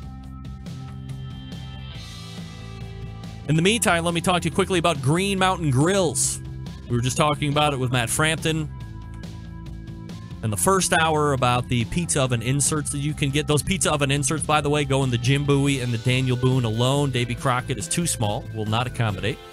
But if you like having the high heat pizza, you like being on trend, as they say, then get the Daniel Boone, that's the medium size, or get the Jim Bowie, that's the biggest one. If you're on the fence about, I, am looking at the Daniel Boone, but I, I'm also looking at the Jim Bowie because it's only a couple hundred dollars more my philosophy is you will always regret not spending the extra couple hundred bucks to get the bigger one. If you have the bigger one, you're typically not going to look and say, "Oh, I should have saved a couple hundred bucks and got the smaller." You can always justify bigger cooks, right? But you can't cook bigger when you have a smaller cook. Just my two cents. Now, if you're looking for something extremely portable and you want something to take on camping trips or maybe you're headlong into this tailgate season for either college or pro football or both, then the Davy Crockett is just what you need if you don't have access to a traditional power outlet. You can plug it in to your 12 volt outlet in your vehicle, car, truck, van, SUV, or whatever. Also, extremely portable, obviously. And the best part is, it is fueled by the same wood pellets that fire the Daniel Boone or the Jim Bowie, whether that's a Green Mountain Grill pellet or a cookingpellets.com pellet. Doesn't matter, it eats them all and it eats them very well. And you get to savor the wood fired flavor. So you get it all in one complete and small package. And again, if you get the Jim Bowie, the Daniel Boone, I'm highly recommending that you get that pizza oven insert. Even if you're not into pizza, it's something you can grow into very quickly. You can become a master at it very quickly. And it is so much fun. Pizzas for everybody. And they're cooking in two to three minutes tops. I mean, who are you kidding? So good. GreenMountainGrills.com. That's GreenMountainGrills.com. I just had a conversation with Jason Baker last week. He is back from China. Some new things that we're going to be talking about.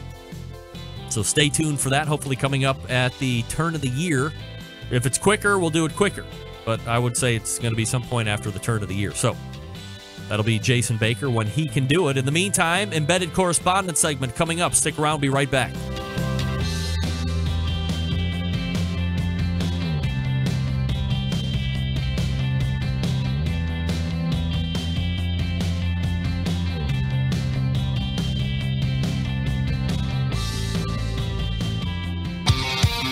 The only show giving you a monthly visit from a doctor of barbecue.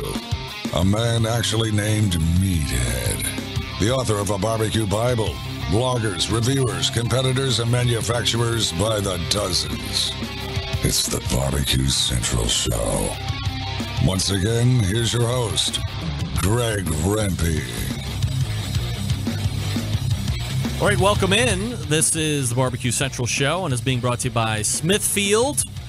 Committed Cooks, have you signed up for the 2019 season? There's still spots available. If you head over to the website smokinwithsmithfield.com, you have the opportunity where if you spend $25, you'll get a number of hundreds of dollars of free swag and gear and promotional items from Smithfield.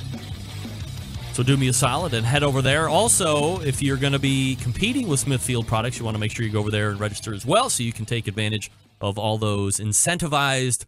Uh, if you come in first in pork or ribs or whatever, you can list it there and get free prizes as well. That's smokingwithsmithfield.com. All right, this is the fourth Tuesday of the month. And you know what that means?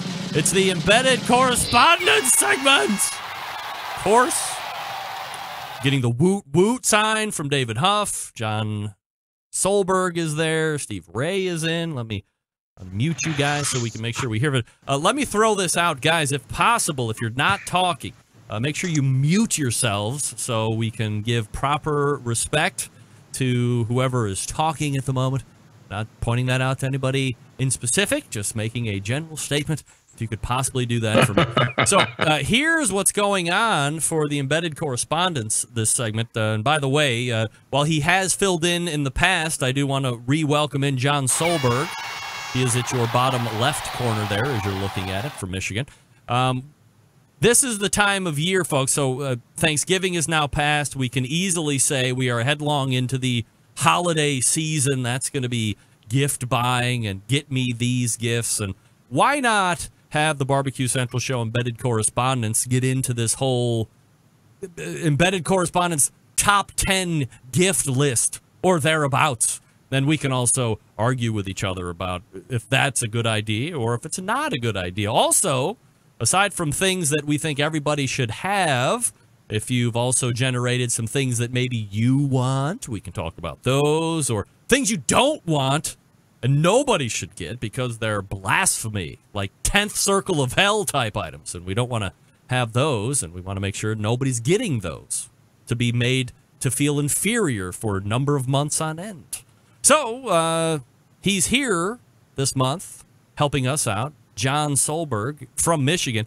John, I know you specifically wanted to talk about one particular item, and I know we have debate that will be running rampant, at least with one other embedded correspondent. So, John, I turn the floor over to you.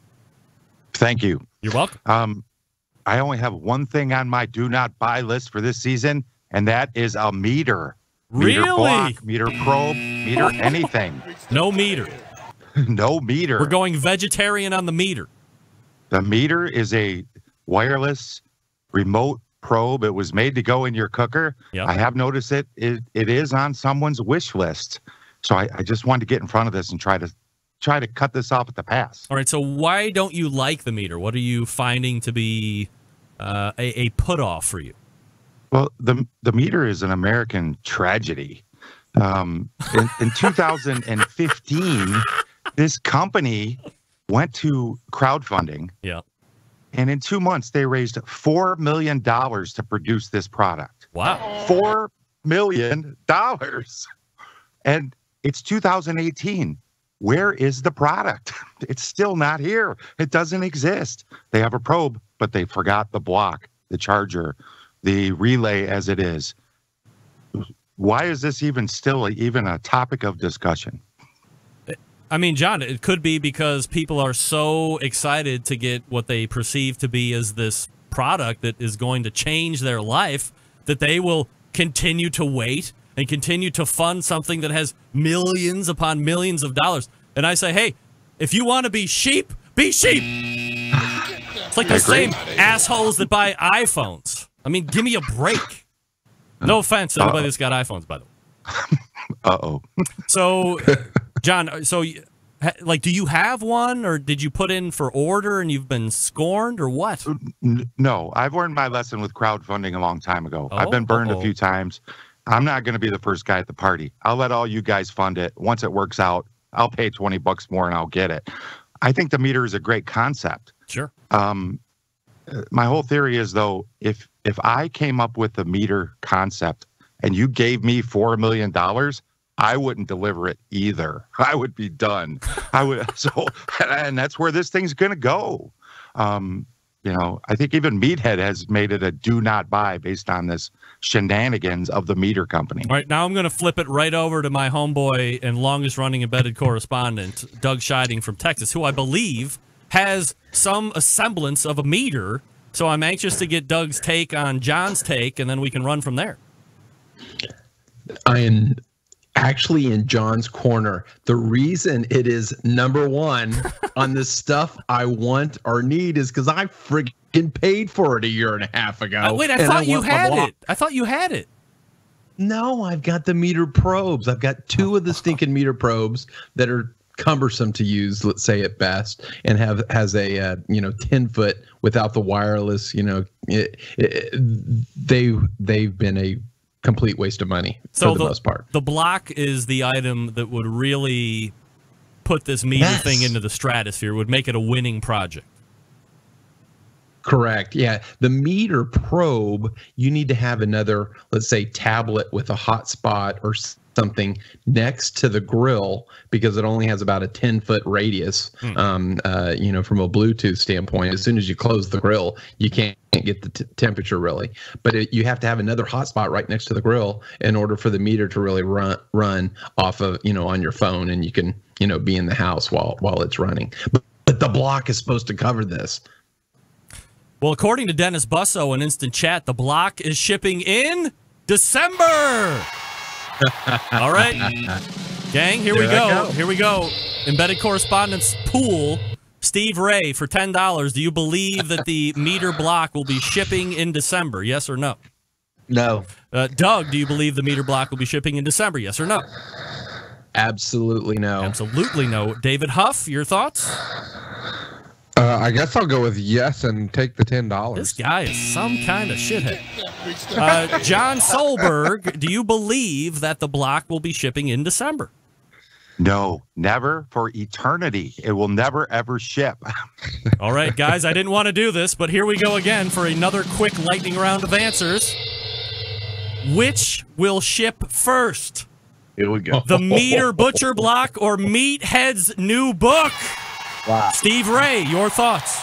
Uh, the, the next coming of Jesus Christ, probably. uh, I'd say, um, the, oh gosh, Remember, The me- Meathead's book is the Meater- projected 2020 at this point. the Meater, the Meater block. The Meater block will come. Wow, uh, Doug Scheiding, Meathead's book, or the Meater, or the oh jeez, or the Meater block. Since I paid for it a year and a half ago, I pray it's the Meater block. All right, Uh, but what do you think is going to happen? The block. All right, uh, David Huff, Meater block or Meathead's book. The block.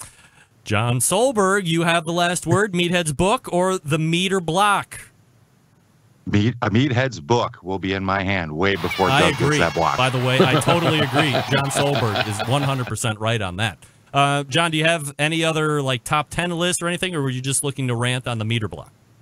Oh, I'm trying to protect folks from this Meater block thing, and, and Doug, he's got it on his wish list. So, uh, honestly, for my top 10 list, I'm a very humble guy. So, if uh, quickly, give me a roll of aluminum foil, give me a box of kosher salt, you know, give me some string knit gloves, some nitrile gloves. I'm a happy guy. There's nothing else I need. All right, then uh, that's it for John. John beat it. Thank you for coming in. Wow. So, uh, I mean, do you feel, um, Doug, that you are going to take John's advice uh, here? Wait, wait. You've paid and you're just waiting. That's right. Right. I've paid. That's Yeah, why. I want it. That's why it's number one on stuff I want. I paid for it. Right. So John is late, is what we're saying. John, I'm sorry. Where were you? How long have you paid for this now? I think it was a year and a half ago. Oh, I'm afraid to go back and look. Sweet Lord, a year and a half. John, where were you a year and a half ago? John is all up on crowdfunding. I thought crowdfunding was legit. I didn't know you could raise four million dollars and then disappear. I mean, I think we got to get together and figure out something we could source out and then just disappear with all the money. Forget it. Uh, Steve, we have uh, 10 minutes left in this segment. So why don't we start with you in regards to items that you think everybody should have No. or maybe people are getting into the barbecue and grilling industry, and this is the first uh, You got- holiday You season. guys think so small. What are you talking about? Christmas gifts are things that you would never buy yourself. I mean, you, you know, What are you talking about? Foil, aluminum foil, rubber gloves. That's right, John. here's my here's my list. Number one, All right. gift certificate to Darren Warth's Barbecue School. No such thing. Go ahead. There's the point. Everybody's got a price, Greg. I don't think Okay. Darren has any price. Darren Yes, works on his Darren- own hey, schedule. Darren's got a price. No. And he says, Steve, I'll teach you for five thousand. Doug, pony up. That's my price. All right, a Jambo pit. Okay. Jambo. I want entry into the King of the Smoker barbecue contest. That's this weekend, Sterling Yes, Ball. that's right. I knew There's that. still time. It's only Tuesday. I could be in Southern California. If you got the invite tomorrow, you would make I, the trip I out. can be there. I could be there. Really? I can go from here to Atlanta to California. I heard there's I heard there's a number of different ways to get to Chicago. flies. Exactly. I want 10 cases of Snake River Farms Wagyu brisket, handpicked by Darren Warth. I see a crush going Because on. He's got them already. He's already got them in his house. He's already handpicked them. We just ship them down here. I want a gift certificate to Tuffy Stone's Barbecue School. I want an Ole Hickory 750. I want a new RV modified for competition barbecue with built-in Cambros, stainless steel kitchen, and framed recipes on the wall of all four proteins in KCBS, written by Darren Warth. Oh my lord. I, want a set of Coltellerie Berti ox-handled knives because mine are getting a little dull. I don't know what Coltellerie is. Is that a is that a name brand that everybody should know? Look it up. Oh, All right. It, it's it's a it's a pretty good. Is that knife. something that Darren Warth uses, Steve? He probably does. I bet. I, I want 150 John Boos 36 by 36 walnut cutting boards so I can just throw them away after I use them. They'll be the new disposable cutting boards for Owl's Nest Barbecue. And I want a gift certificate to David Bouska's barbecue school. All right, so two of those could actually happen. You could, uh, I think Dave Bouska does put on a barbecue school from time to time, or he has in the past. I think you're really setting yourself up for heartache with Darren Warth because, I mean, for as much as he has won over literally the decades, and he has never put on one class. We're short- friends on Facebook. Uh, understandably so, but nevertheless, I you know do what I not don't want? believe. You know what I don't want? yes. You see this? What You is see that? this? Is that a You know what that sombrero? That's a sombrero. You know what that is? That's a plate. Okay. Okay. that plate, you take it to a party, you put your drink like that, and you can put your food around it. Are you sure got- that's not a, a chip and dip that for a thing? I think Yeah, you're. no, I think no, you're way no, no. off. I think you're way off. No, no, no. This was like that. And then you put food around it. Are you How sure? did I how did I live No. that? Wow. No. You know what else I don't want? No. I don't want another one of these. the big spatula. You open that up Christmas morning, and the only person that laughs is the guy that gave it to you. the big spatula. Okay? I don't want any more of these, folks. Don't want any more big spatulas. And there's one more thing I don't want. Okay. I'll take that. See this Steve. I want that. What is that? Ki- it is Kyocera. Sounds very, very, very eloquent, doesn't it? Kyocera is actually the correct pronunciation, but I don't want to be that guy. You probably have these. You probably have a whole set of them. That's a ceramic knife. Oh. You know how useless that thing is? How useless? You know what? Somebody somebody broke the ceramic cow in a nativity scene and cut themselves one time. And they said, Boy, that's pretty sharp. I think I'll make a knife out of that. You think that's how that industry was started? You know how many of these things I've got? People give me those. I've got a hundred. Steve, are the people that are giving you ceramic knives the same guys that are giving you the big spatulas and laughing at you Yeah, twice at yeah. Christmas? And, and the other ceramic knives, they come in color. They've got green, they're pink, purple. Wow. No more ceramic knives. And you know what else I don't want? I don't want any more of those stupid t-shirts that say kiss the barbecue cook or barbecue king. I don't want a DVD set of the Barbecue Pitmaster series. I've already got that. I don't want any more burn charcoal from Big Lots that you couldn't light with a jet engine. These are things that I don't want. And you know what else I don't want, Doug? I don't want any more ceramic knives. Okay? I think that was No made. ceramic knives. That was very eloquently put uh, five minutes ago. Uh, Steve, from a uh, suggestions standpoint, are there a few items that you think people just getting into barbecue should be asking for, or that the gift giver should be thinking about? Sure. A barbecue pit. Why should I have to buy it? Give a if if you have a friend that wants a barbecue, buy him a pit. Buy him a one of those things you sell, Doug? Traeger. Buy him a Traeger. Give him a Traeger. Say, by golly, that's a gift. David, what do you like about? Don't go don't go down to Lowe's and get that what's that Oklahoma Dan's thing or that they sell down there that's $149. Don't get him that. Get him a Traeger. Get him something he can cook on. David, what do you like or dislike Yeah. about uh, Steve's lists? Why does the Oklahoma whatever have to be the crap things? I mean, what's wrong with you, Steve? Oh. Um, I'll tell you what I don't like. Steve, there is Uh oh. Uh oh. Hey. Uh oh. look.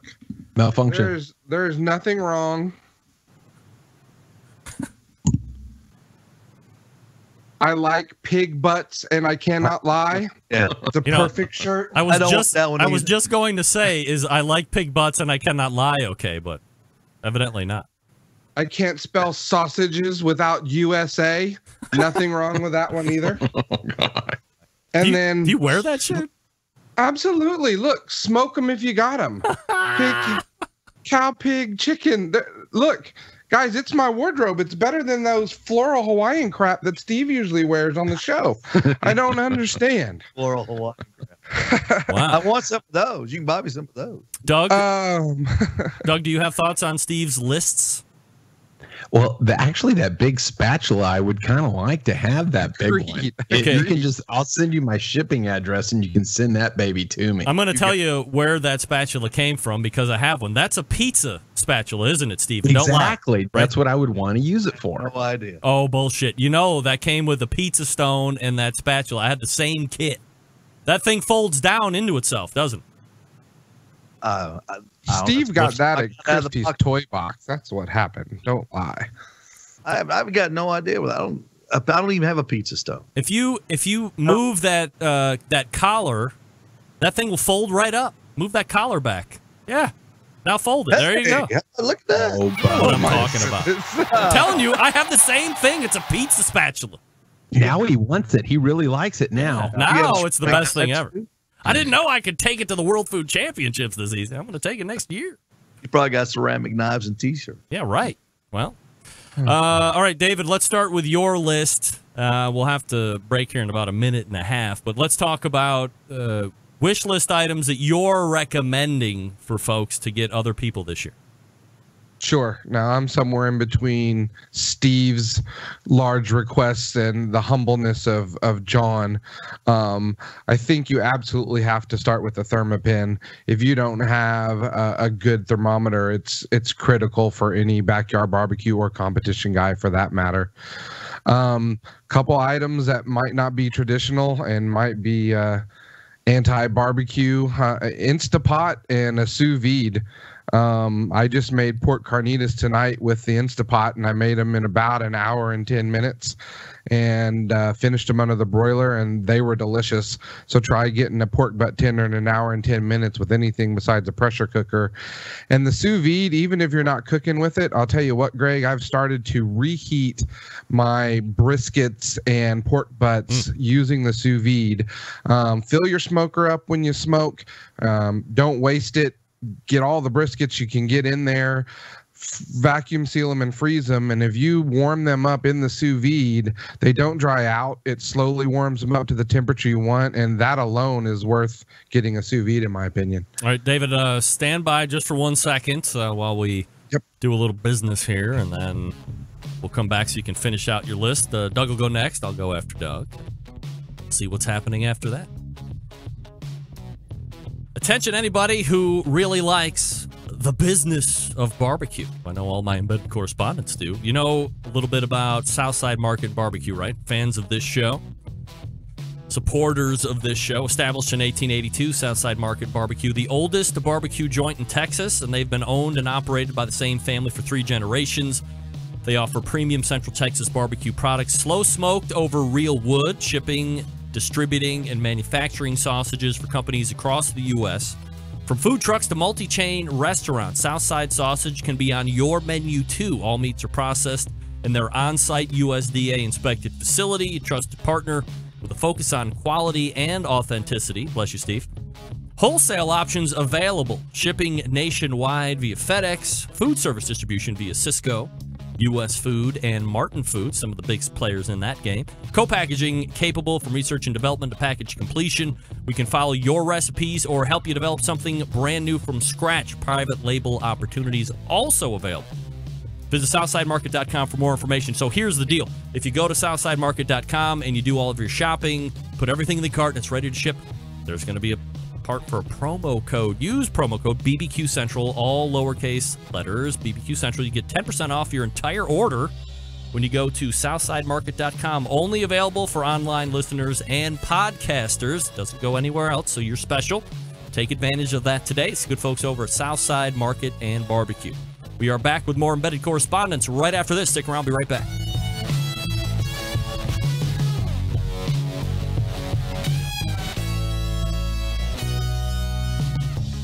Continuing to produce incredibly mediocre content in an exceptionally professional way.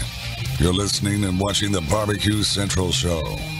Once again, here's your host, Greg Rempe. This segment brought to you by Fireboard. Monitor up to six different temperatures simultaneously. Connect to Wi Fi for cloud based monitoring or connect via the Bluetooths.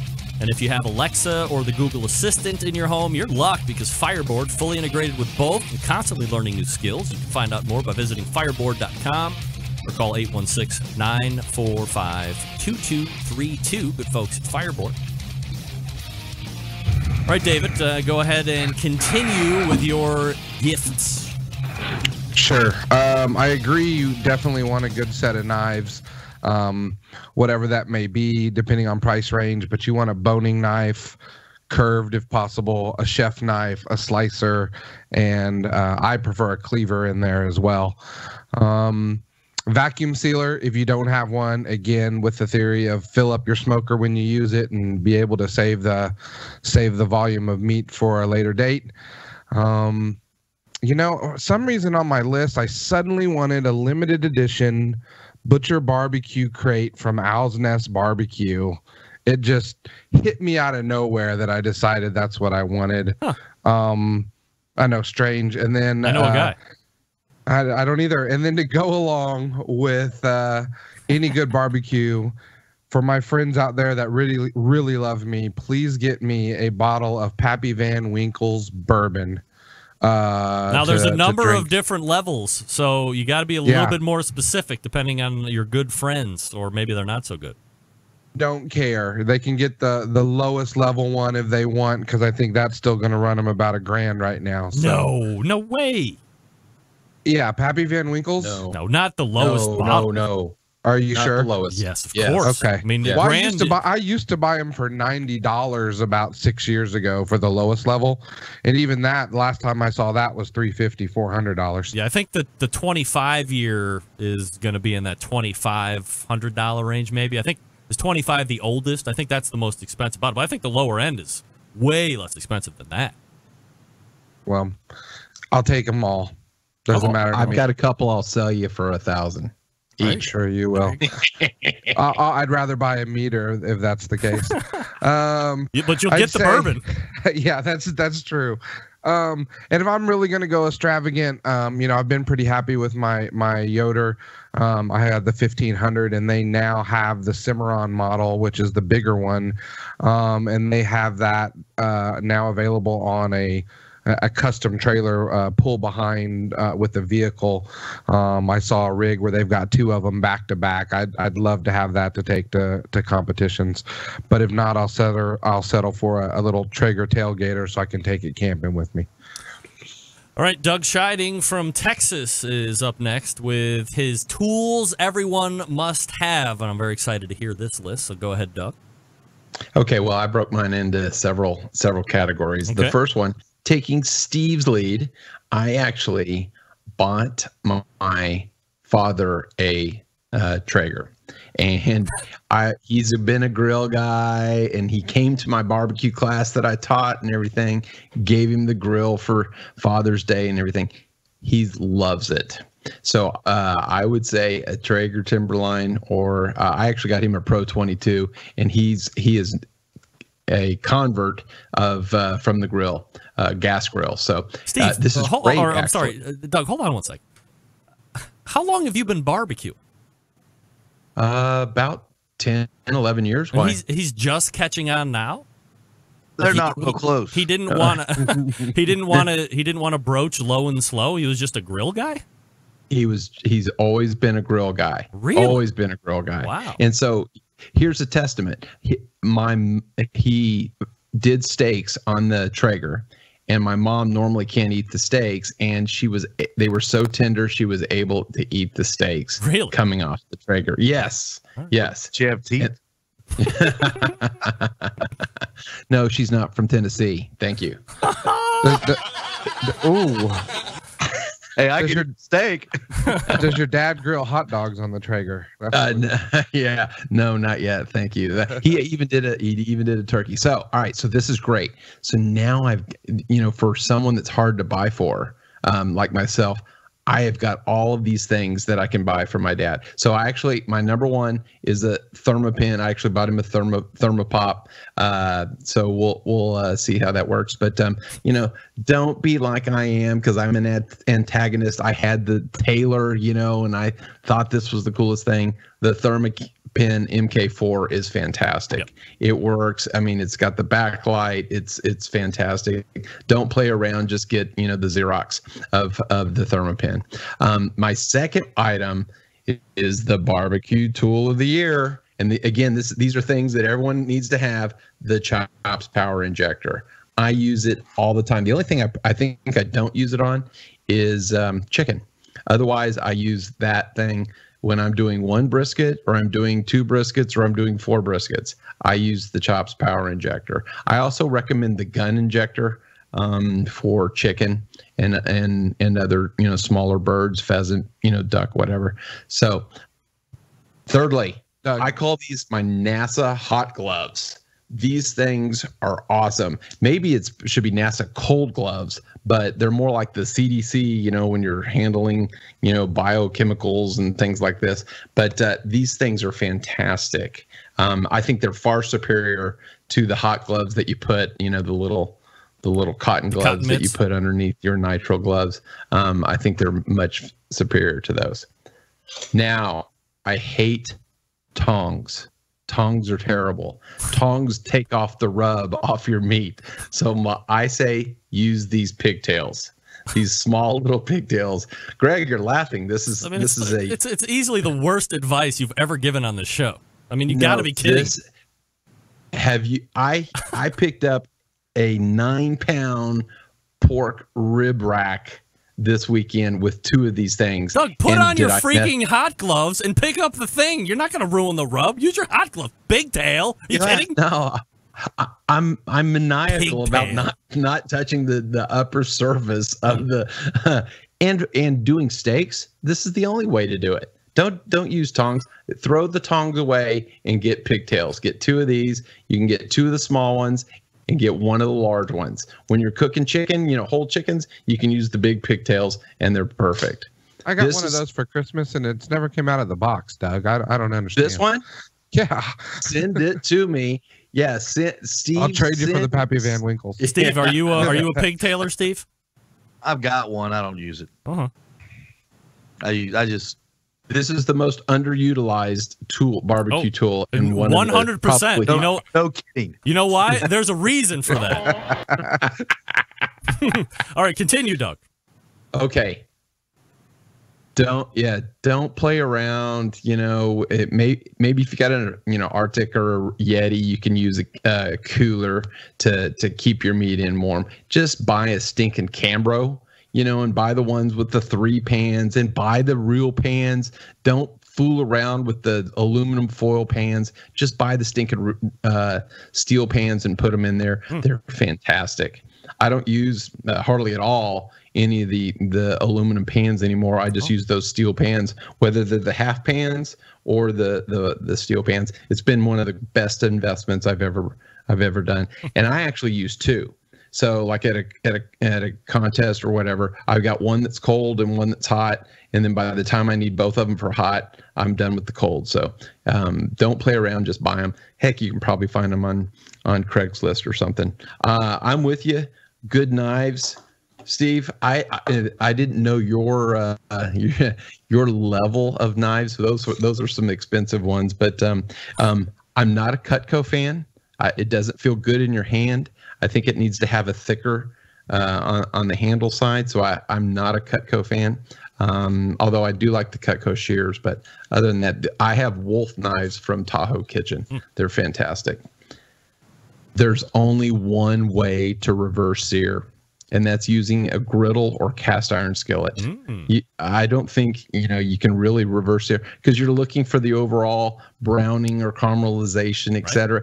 You're only going to get that, that if you put a griddle. You know, if you're doing more than two steaks, two steaks you can do it in a cast iron pan um, uh, skillet. But if you've got more than two steaks, you need a griddle, or better yet, two griddles. So I have I have actually three. So uh, just depending on how many I'm doing at one time smoke tube. So yes, as a, uh, used to use these in in the older Traeger models, you know, just to get more smoke. But I actually use these now mainly for cold smoking food. What so is- like if I'm hold that up. What is that? That's the amazing is- tube. What do Yeah, you do? That? This you you fill it up with pellets, and uh, you know you can fill it up to about ninety percent. You put it down, and then use a little propane torch on the end, and and it'll smoke for about three to four hours. Oh, and big incense thing. Yeah, yeah, if, yeah, exactly. So, but your grill's not on if you want a cold smoke. So, if you want a cold smoke cheese, I mean, we cold smoked uh, limeade and made fantastic mojitos. You can do all kinds of stuff with this. Now, if you've got a charcoal grill, you know, and you're and you want to add some some wood smoky flavor on a charcoal grill, like a Weber or something like that, you can put this on there too, or a you know big green egg or whatever. So you, You, can use this. like like uh, like in a Traeger pellet little pellets. Yeah, bar, you know, Traeger Traeger pellets or you know whatever flavor you like, and this will go three to four hours. Wow, I've never seen that. Yeah, Oh, cooking, this thing I is thought I've seen that thing. I've never seen. it. cookingpellets.com has them for sale on their website, by the way. They do. Do you have one, This Greg? one, I Greg, do have one. Yes, I do. do you use it, Greg? Uh, not a terrible amount because we're not a big cold smoke family. But if I need to inject a like in the in the Green Mountain grills, if I want an extra smoky flavor, then I'll fire one up and you know use it like you were using in your Traegers, your old Traegers, there, Doug. Yeah, my old Traeger. So with the Timberline, I don't need it, but uh, but you know because it has the super smoke and and I don't need it. But but the older the older uh, pellet grills, uh, this is fantastic. Oh yeah, works the great. cold Works great. Yeah. And if you know, like I say, if you've got a charcoal grill, this is perfect too. If you want to add some wood, wood, because I, I don't like the uh, oak charcoal and those. You know, just give me charcoal and let me let me use uh, pellets or or chips to get the the smoke flavor. David, you have one? I do, and I use it when I'm cooking stuff on my natural gas grill. I use it to add a little bit of smoke flavor. I'm the oh, that would be good. I'm the only one that have one. Well, not to make you feel bad, Steve, but you What also had no idea that Diva Q had been on the show before. So, no surprise. Continue, Doug. Okay, thanks. And the last thing, and this is you know just for the general uh spot, you know, meathead, meathead's book.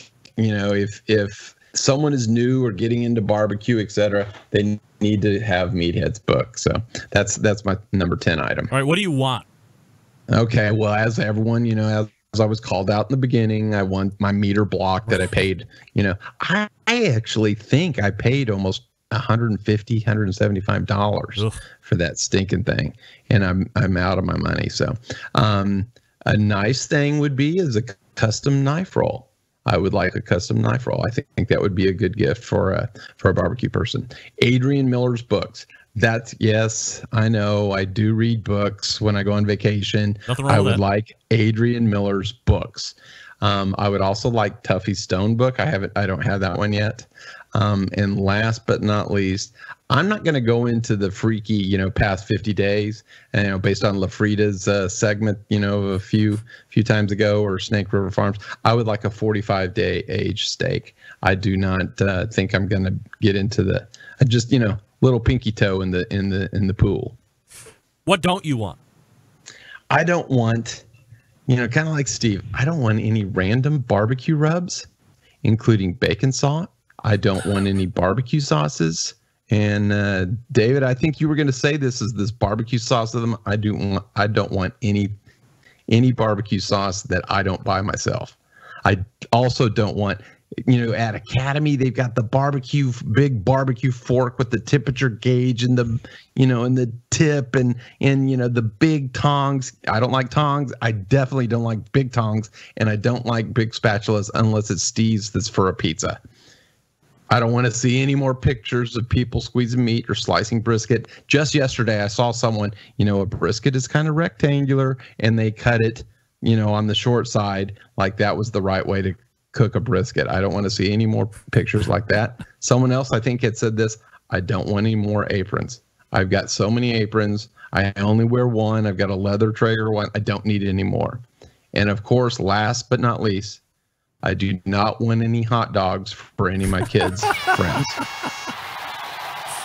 We are I'm- staying with the anti hot dog movement going into 2019. I appreciate Doug's stick to itiveness on that. I'm doubling down, tripling down. No doubt. All right. Uh, quickly, I will give you my list. These are gifts that I would suggest for people to buy.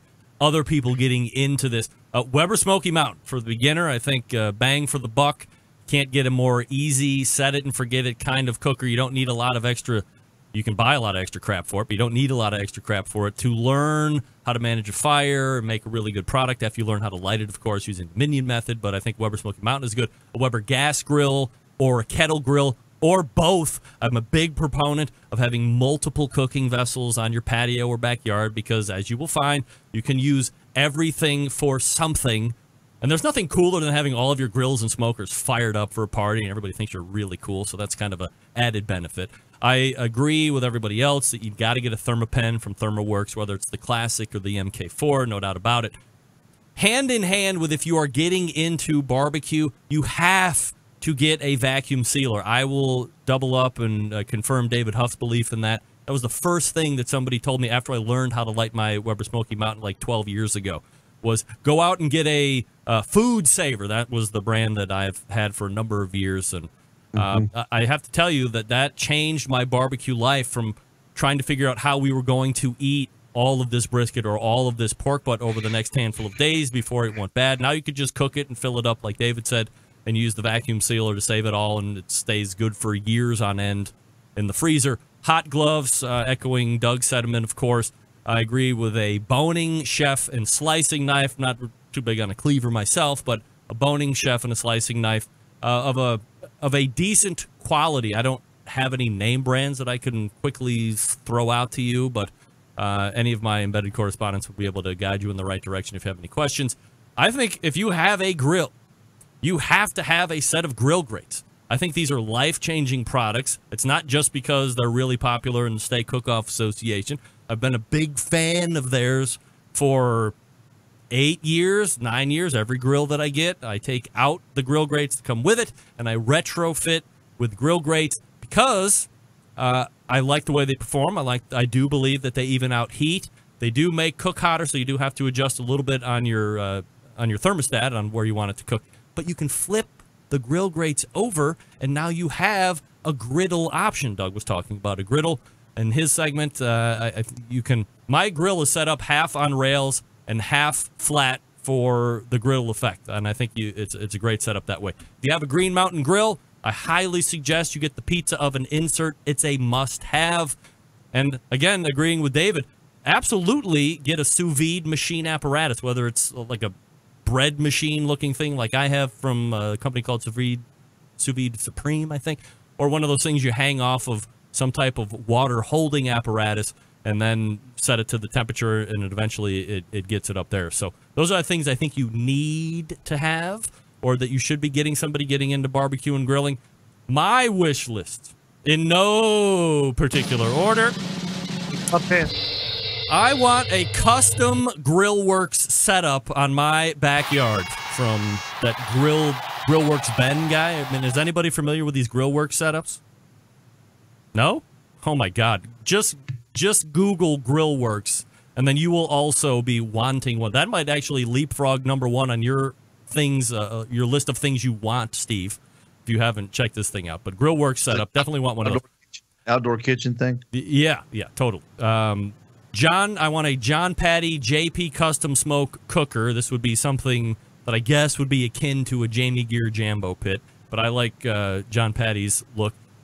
It's absolutely sexy cooker. I want a load of 70 day dry aged ribeye steaks from Pat LaFrieda because I want all of the funk.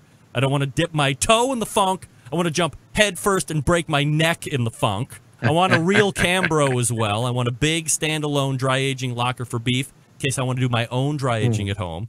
I want dinner at Prime and Proper Steakhouse in Detroit. I don't think you'll ever hear me say I want to go to Detroit, but other than go to Prime and Proper Steakhouse because it's an absolute uh, fantasy of mine as I follow them on social media. I want to cook barbecue with Sterling Ball once. I want 10,000 Instagram followers. And most importantly, I want an embedded correspondence meetup at some point. Uh, that, of course, would also include John. Don't get me a freaking apron ever. I won't wear it. Trash. Ever- You don't wear an apron No. ever? No. Not even I have, oven meat or anything? I have 75,000 barbecue t-shirts. I have all the aprons I need. I wear the t-shirts. I wipe my hands on my shirts. And if I can't get the stains out of them, I throw the fucking shirt out. That's what I do.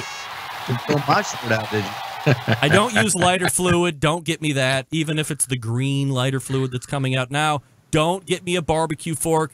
Don't get me the multi-tool grilling thing that has the tongs and the fork and the chef's knife and all that other crap in it. I don't want that. And don't get me started on these best of lists where people give names of uh, barbecue people of the year or most impressionable for 2018 they give you the names, but then they make you vote on these names. I mean, how weak is that? Let's have a popularity contest. If somebody has a really big social media following, but maybe they don't really deserve to be that 2018 person of the year, I mean, they're going to win.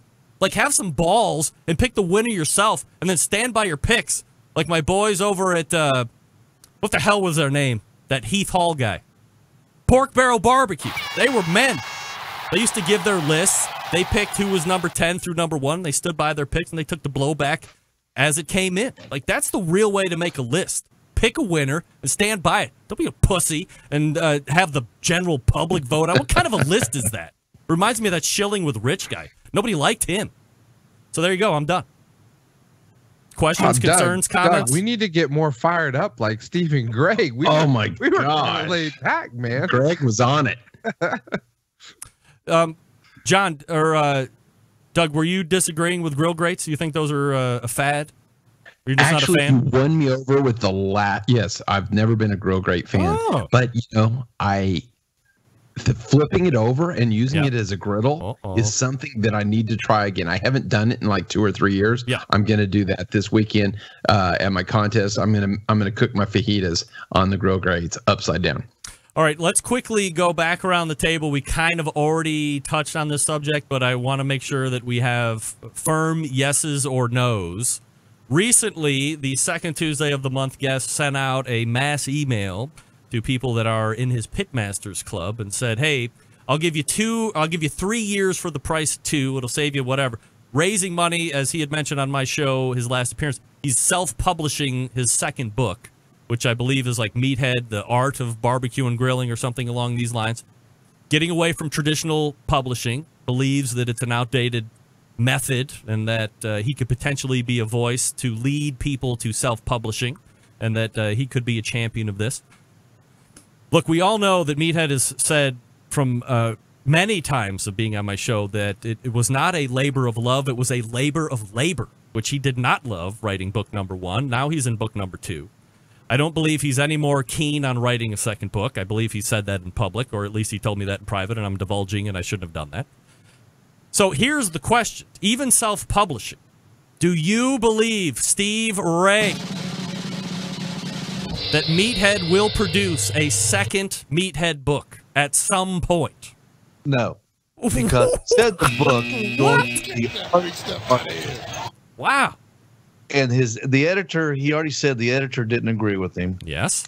In in an in an era where we are simplifying barbecue and he wants to take brisket and add art to it and think outside the box when everybody now is just putting salt and pepper back on it and thinking inside the box.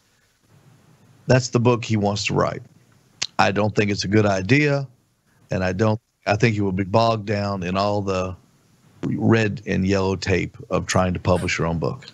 So you see no production for Meathead. I don't see that book ever happening. All right, Doug, do you think that Meathead will produce a second book?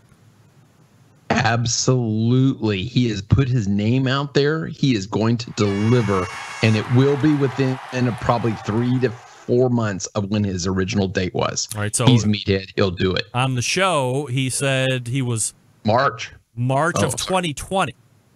Yep. So you think it's within three to four months of that? Yep. And that's what my uh, guess was. All right, no, uh, June, July. No names, please. Yes. All right, David Huff, do you believe that Meathead will come out with a second book? Yes or no? Yes, I think you will. Uh, what about time frame?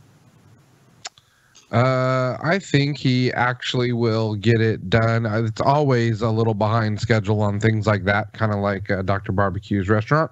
Hello. So I would say um, probably about six months behind his time frame.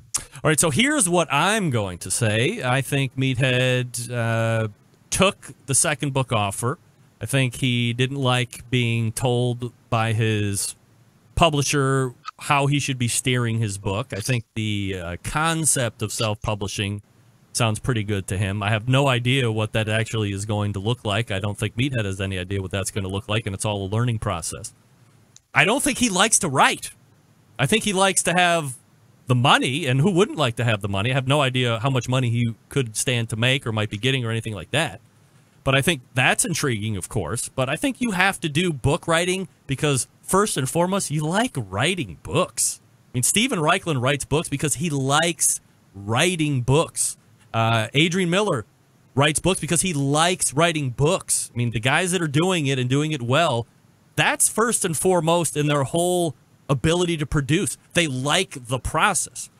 I don't think Meathead really likes the process. I think he, if if, so, if he could snap his fingers and the book would be just as good as the first one, he would happily do that. And I agree. You will never, ever, ever find me writing a freaking book, let alone reading a book. I'm not going to write one. I can tell you that. So, having said all of that, I'm here to tell you that Meathead will produce that second book, and it's not going to be in March of 2020, but I would goddamn guarantee it's probably going to be June of 2020. So, I, and I kind of agree with Doug. Like his, he said he was going to do it. So, not producing a book, I don't think is an option for Meathead. And if Steve ends up being right, we will all readjourn here on an embedded correspondence segment and be kissing the king's ring. So, what can I tell you? You can pay, you can pay my airfare for the big in, embedded correspondence meetup. There you go. All right. So, in the meantime, uh, this is the embedded correspondence segment. We thank John Solberg for popping in at the very beginning, in the uh, beginning of the second or the second hour. Uh, you have Doug Scheiding, my oldest embedded correspondent from Texas. You have Steve Ray from Tennessee and David Huff in Oklahoma. Thanks again to John Solberg from Michigan for joining me.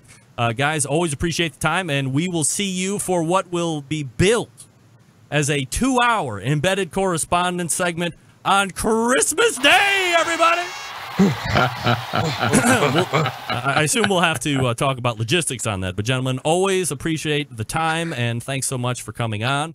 That's the embedded All correspondence. via the Traeger Grills That- hotline. Mm-mm-mm. Yummy. And just like that, Hello, everybody. This is Gary All right, get the ID the in. Chuck, Right. host of Wine Library TV, Wait, wait. aka WLTV, Wait, wait. and this is BBQ Central. All right, uh, let me talk to you quickly about Traeger Grills. Behind every great meal is a great grill, but not just any grill, a Traeger grill. And the Timberline is Traeger's most advanced grill yet. It allows you to grill, smoke, bake, roast, braise, and barbecue like a pro, no matter what your level. Thanks to the incredible wood fired taste. Seriously, you don't know flavor till you're cooking with it. Traeger grills use all natural hardwood pellets as fuel, so you're literally cooking with flavor from low and slow smoked ribs to a seared steak. Even a baked apple pie, Traeger grills can handle it all. And the Traeger Timberline makes it even easier thanks to the Wi Fi capability. You can check on cooks, kick up the temperature, and set custom cook cycles anytime, anywhere, all right from your phone through the Traeger Grill app. In fact, if I had my Traeger Grill app right now and I had brisket on, I could check on it right now. You can find a Traeger dealer or check them out online, traegergrills.com, if you want to beef up that barbecue game of yours, or if you're looking for a unique gift to give somebody you love. Traeger Shop Class is going coast to coast, bringing barbecue knowledge and amazing wood fired food everywhere they go, taught by professional pitmasters. You'll take home all the skills you need to reach barbecue glory. Find a shop class near you and sign up today. TraegerGrills.com slash shop class. That's TraegerGrills.com slash shop class. Back to wrap up the show right after this. Stick around, be right back. Whole packers, full racks, legs and thighs, injecting butts. If you've never heard this before, you might think you found the best Triple X show ever. Let's get back to the most homoerotic host out there today, Greg Rempe.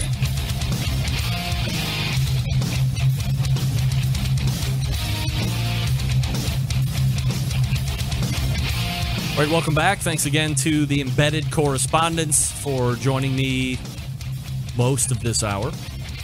They are once again Doug Scheiding in Texas, Steve Ray in Tennessee, David Huff in Oklahoma, John Solberg in Michigan. And there you have it. All right. Um, maybe we will generate some kind of a final embedded correspondence gift list and post it. Maybe we won't. If you missed it, you can go back through and listen to all of our suggestions and offerings.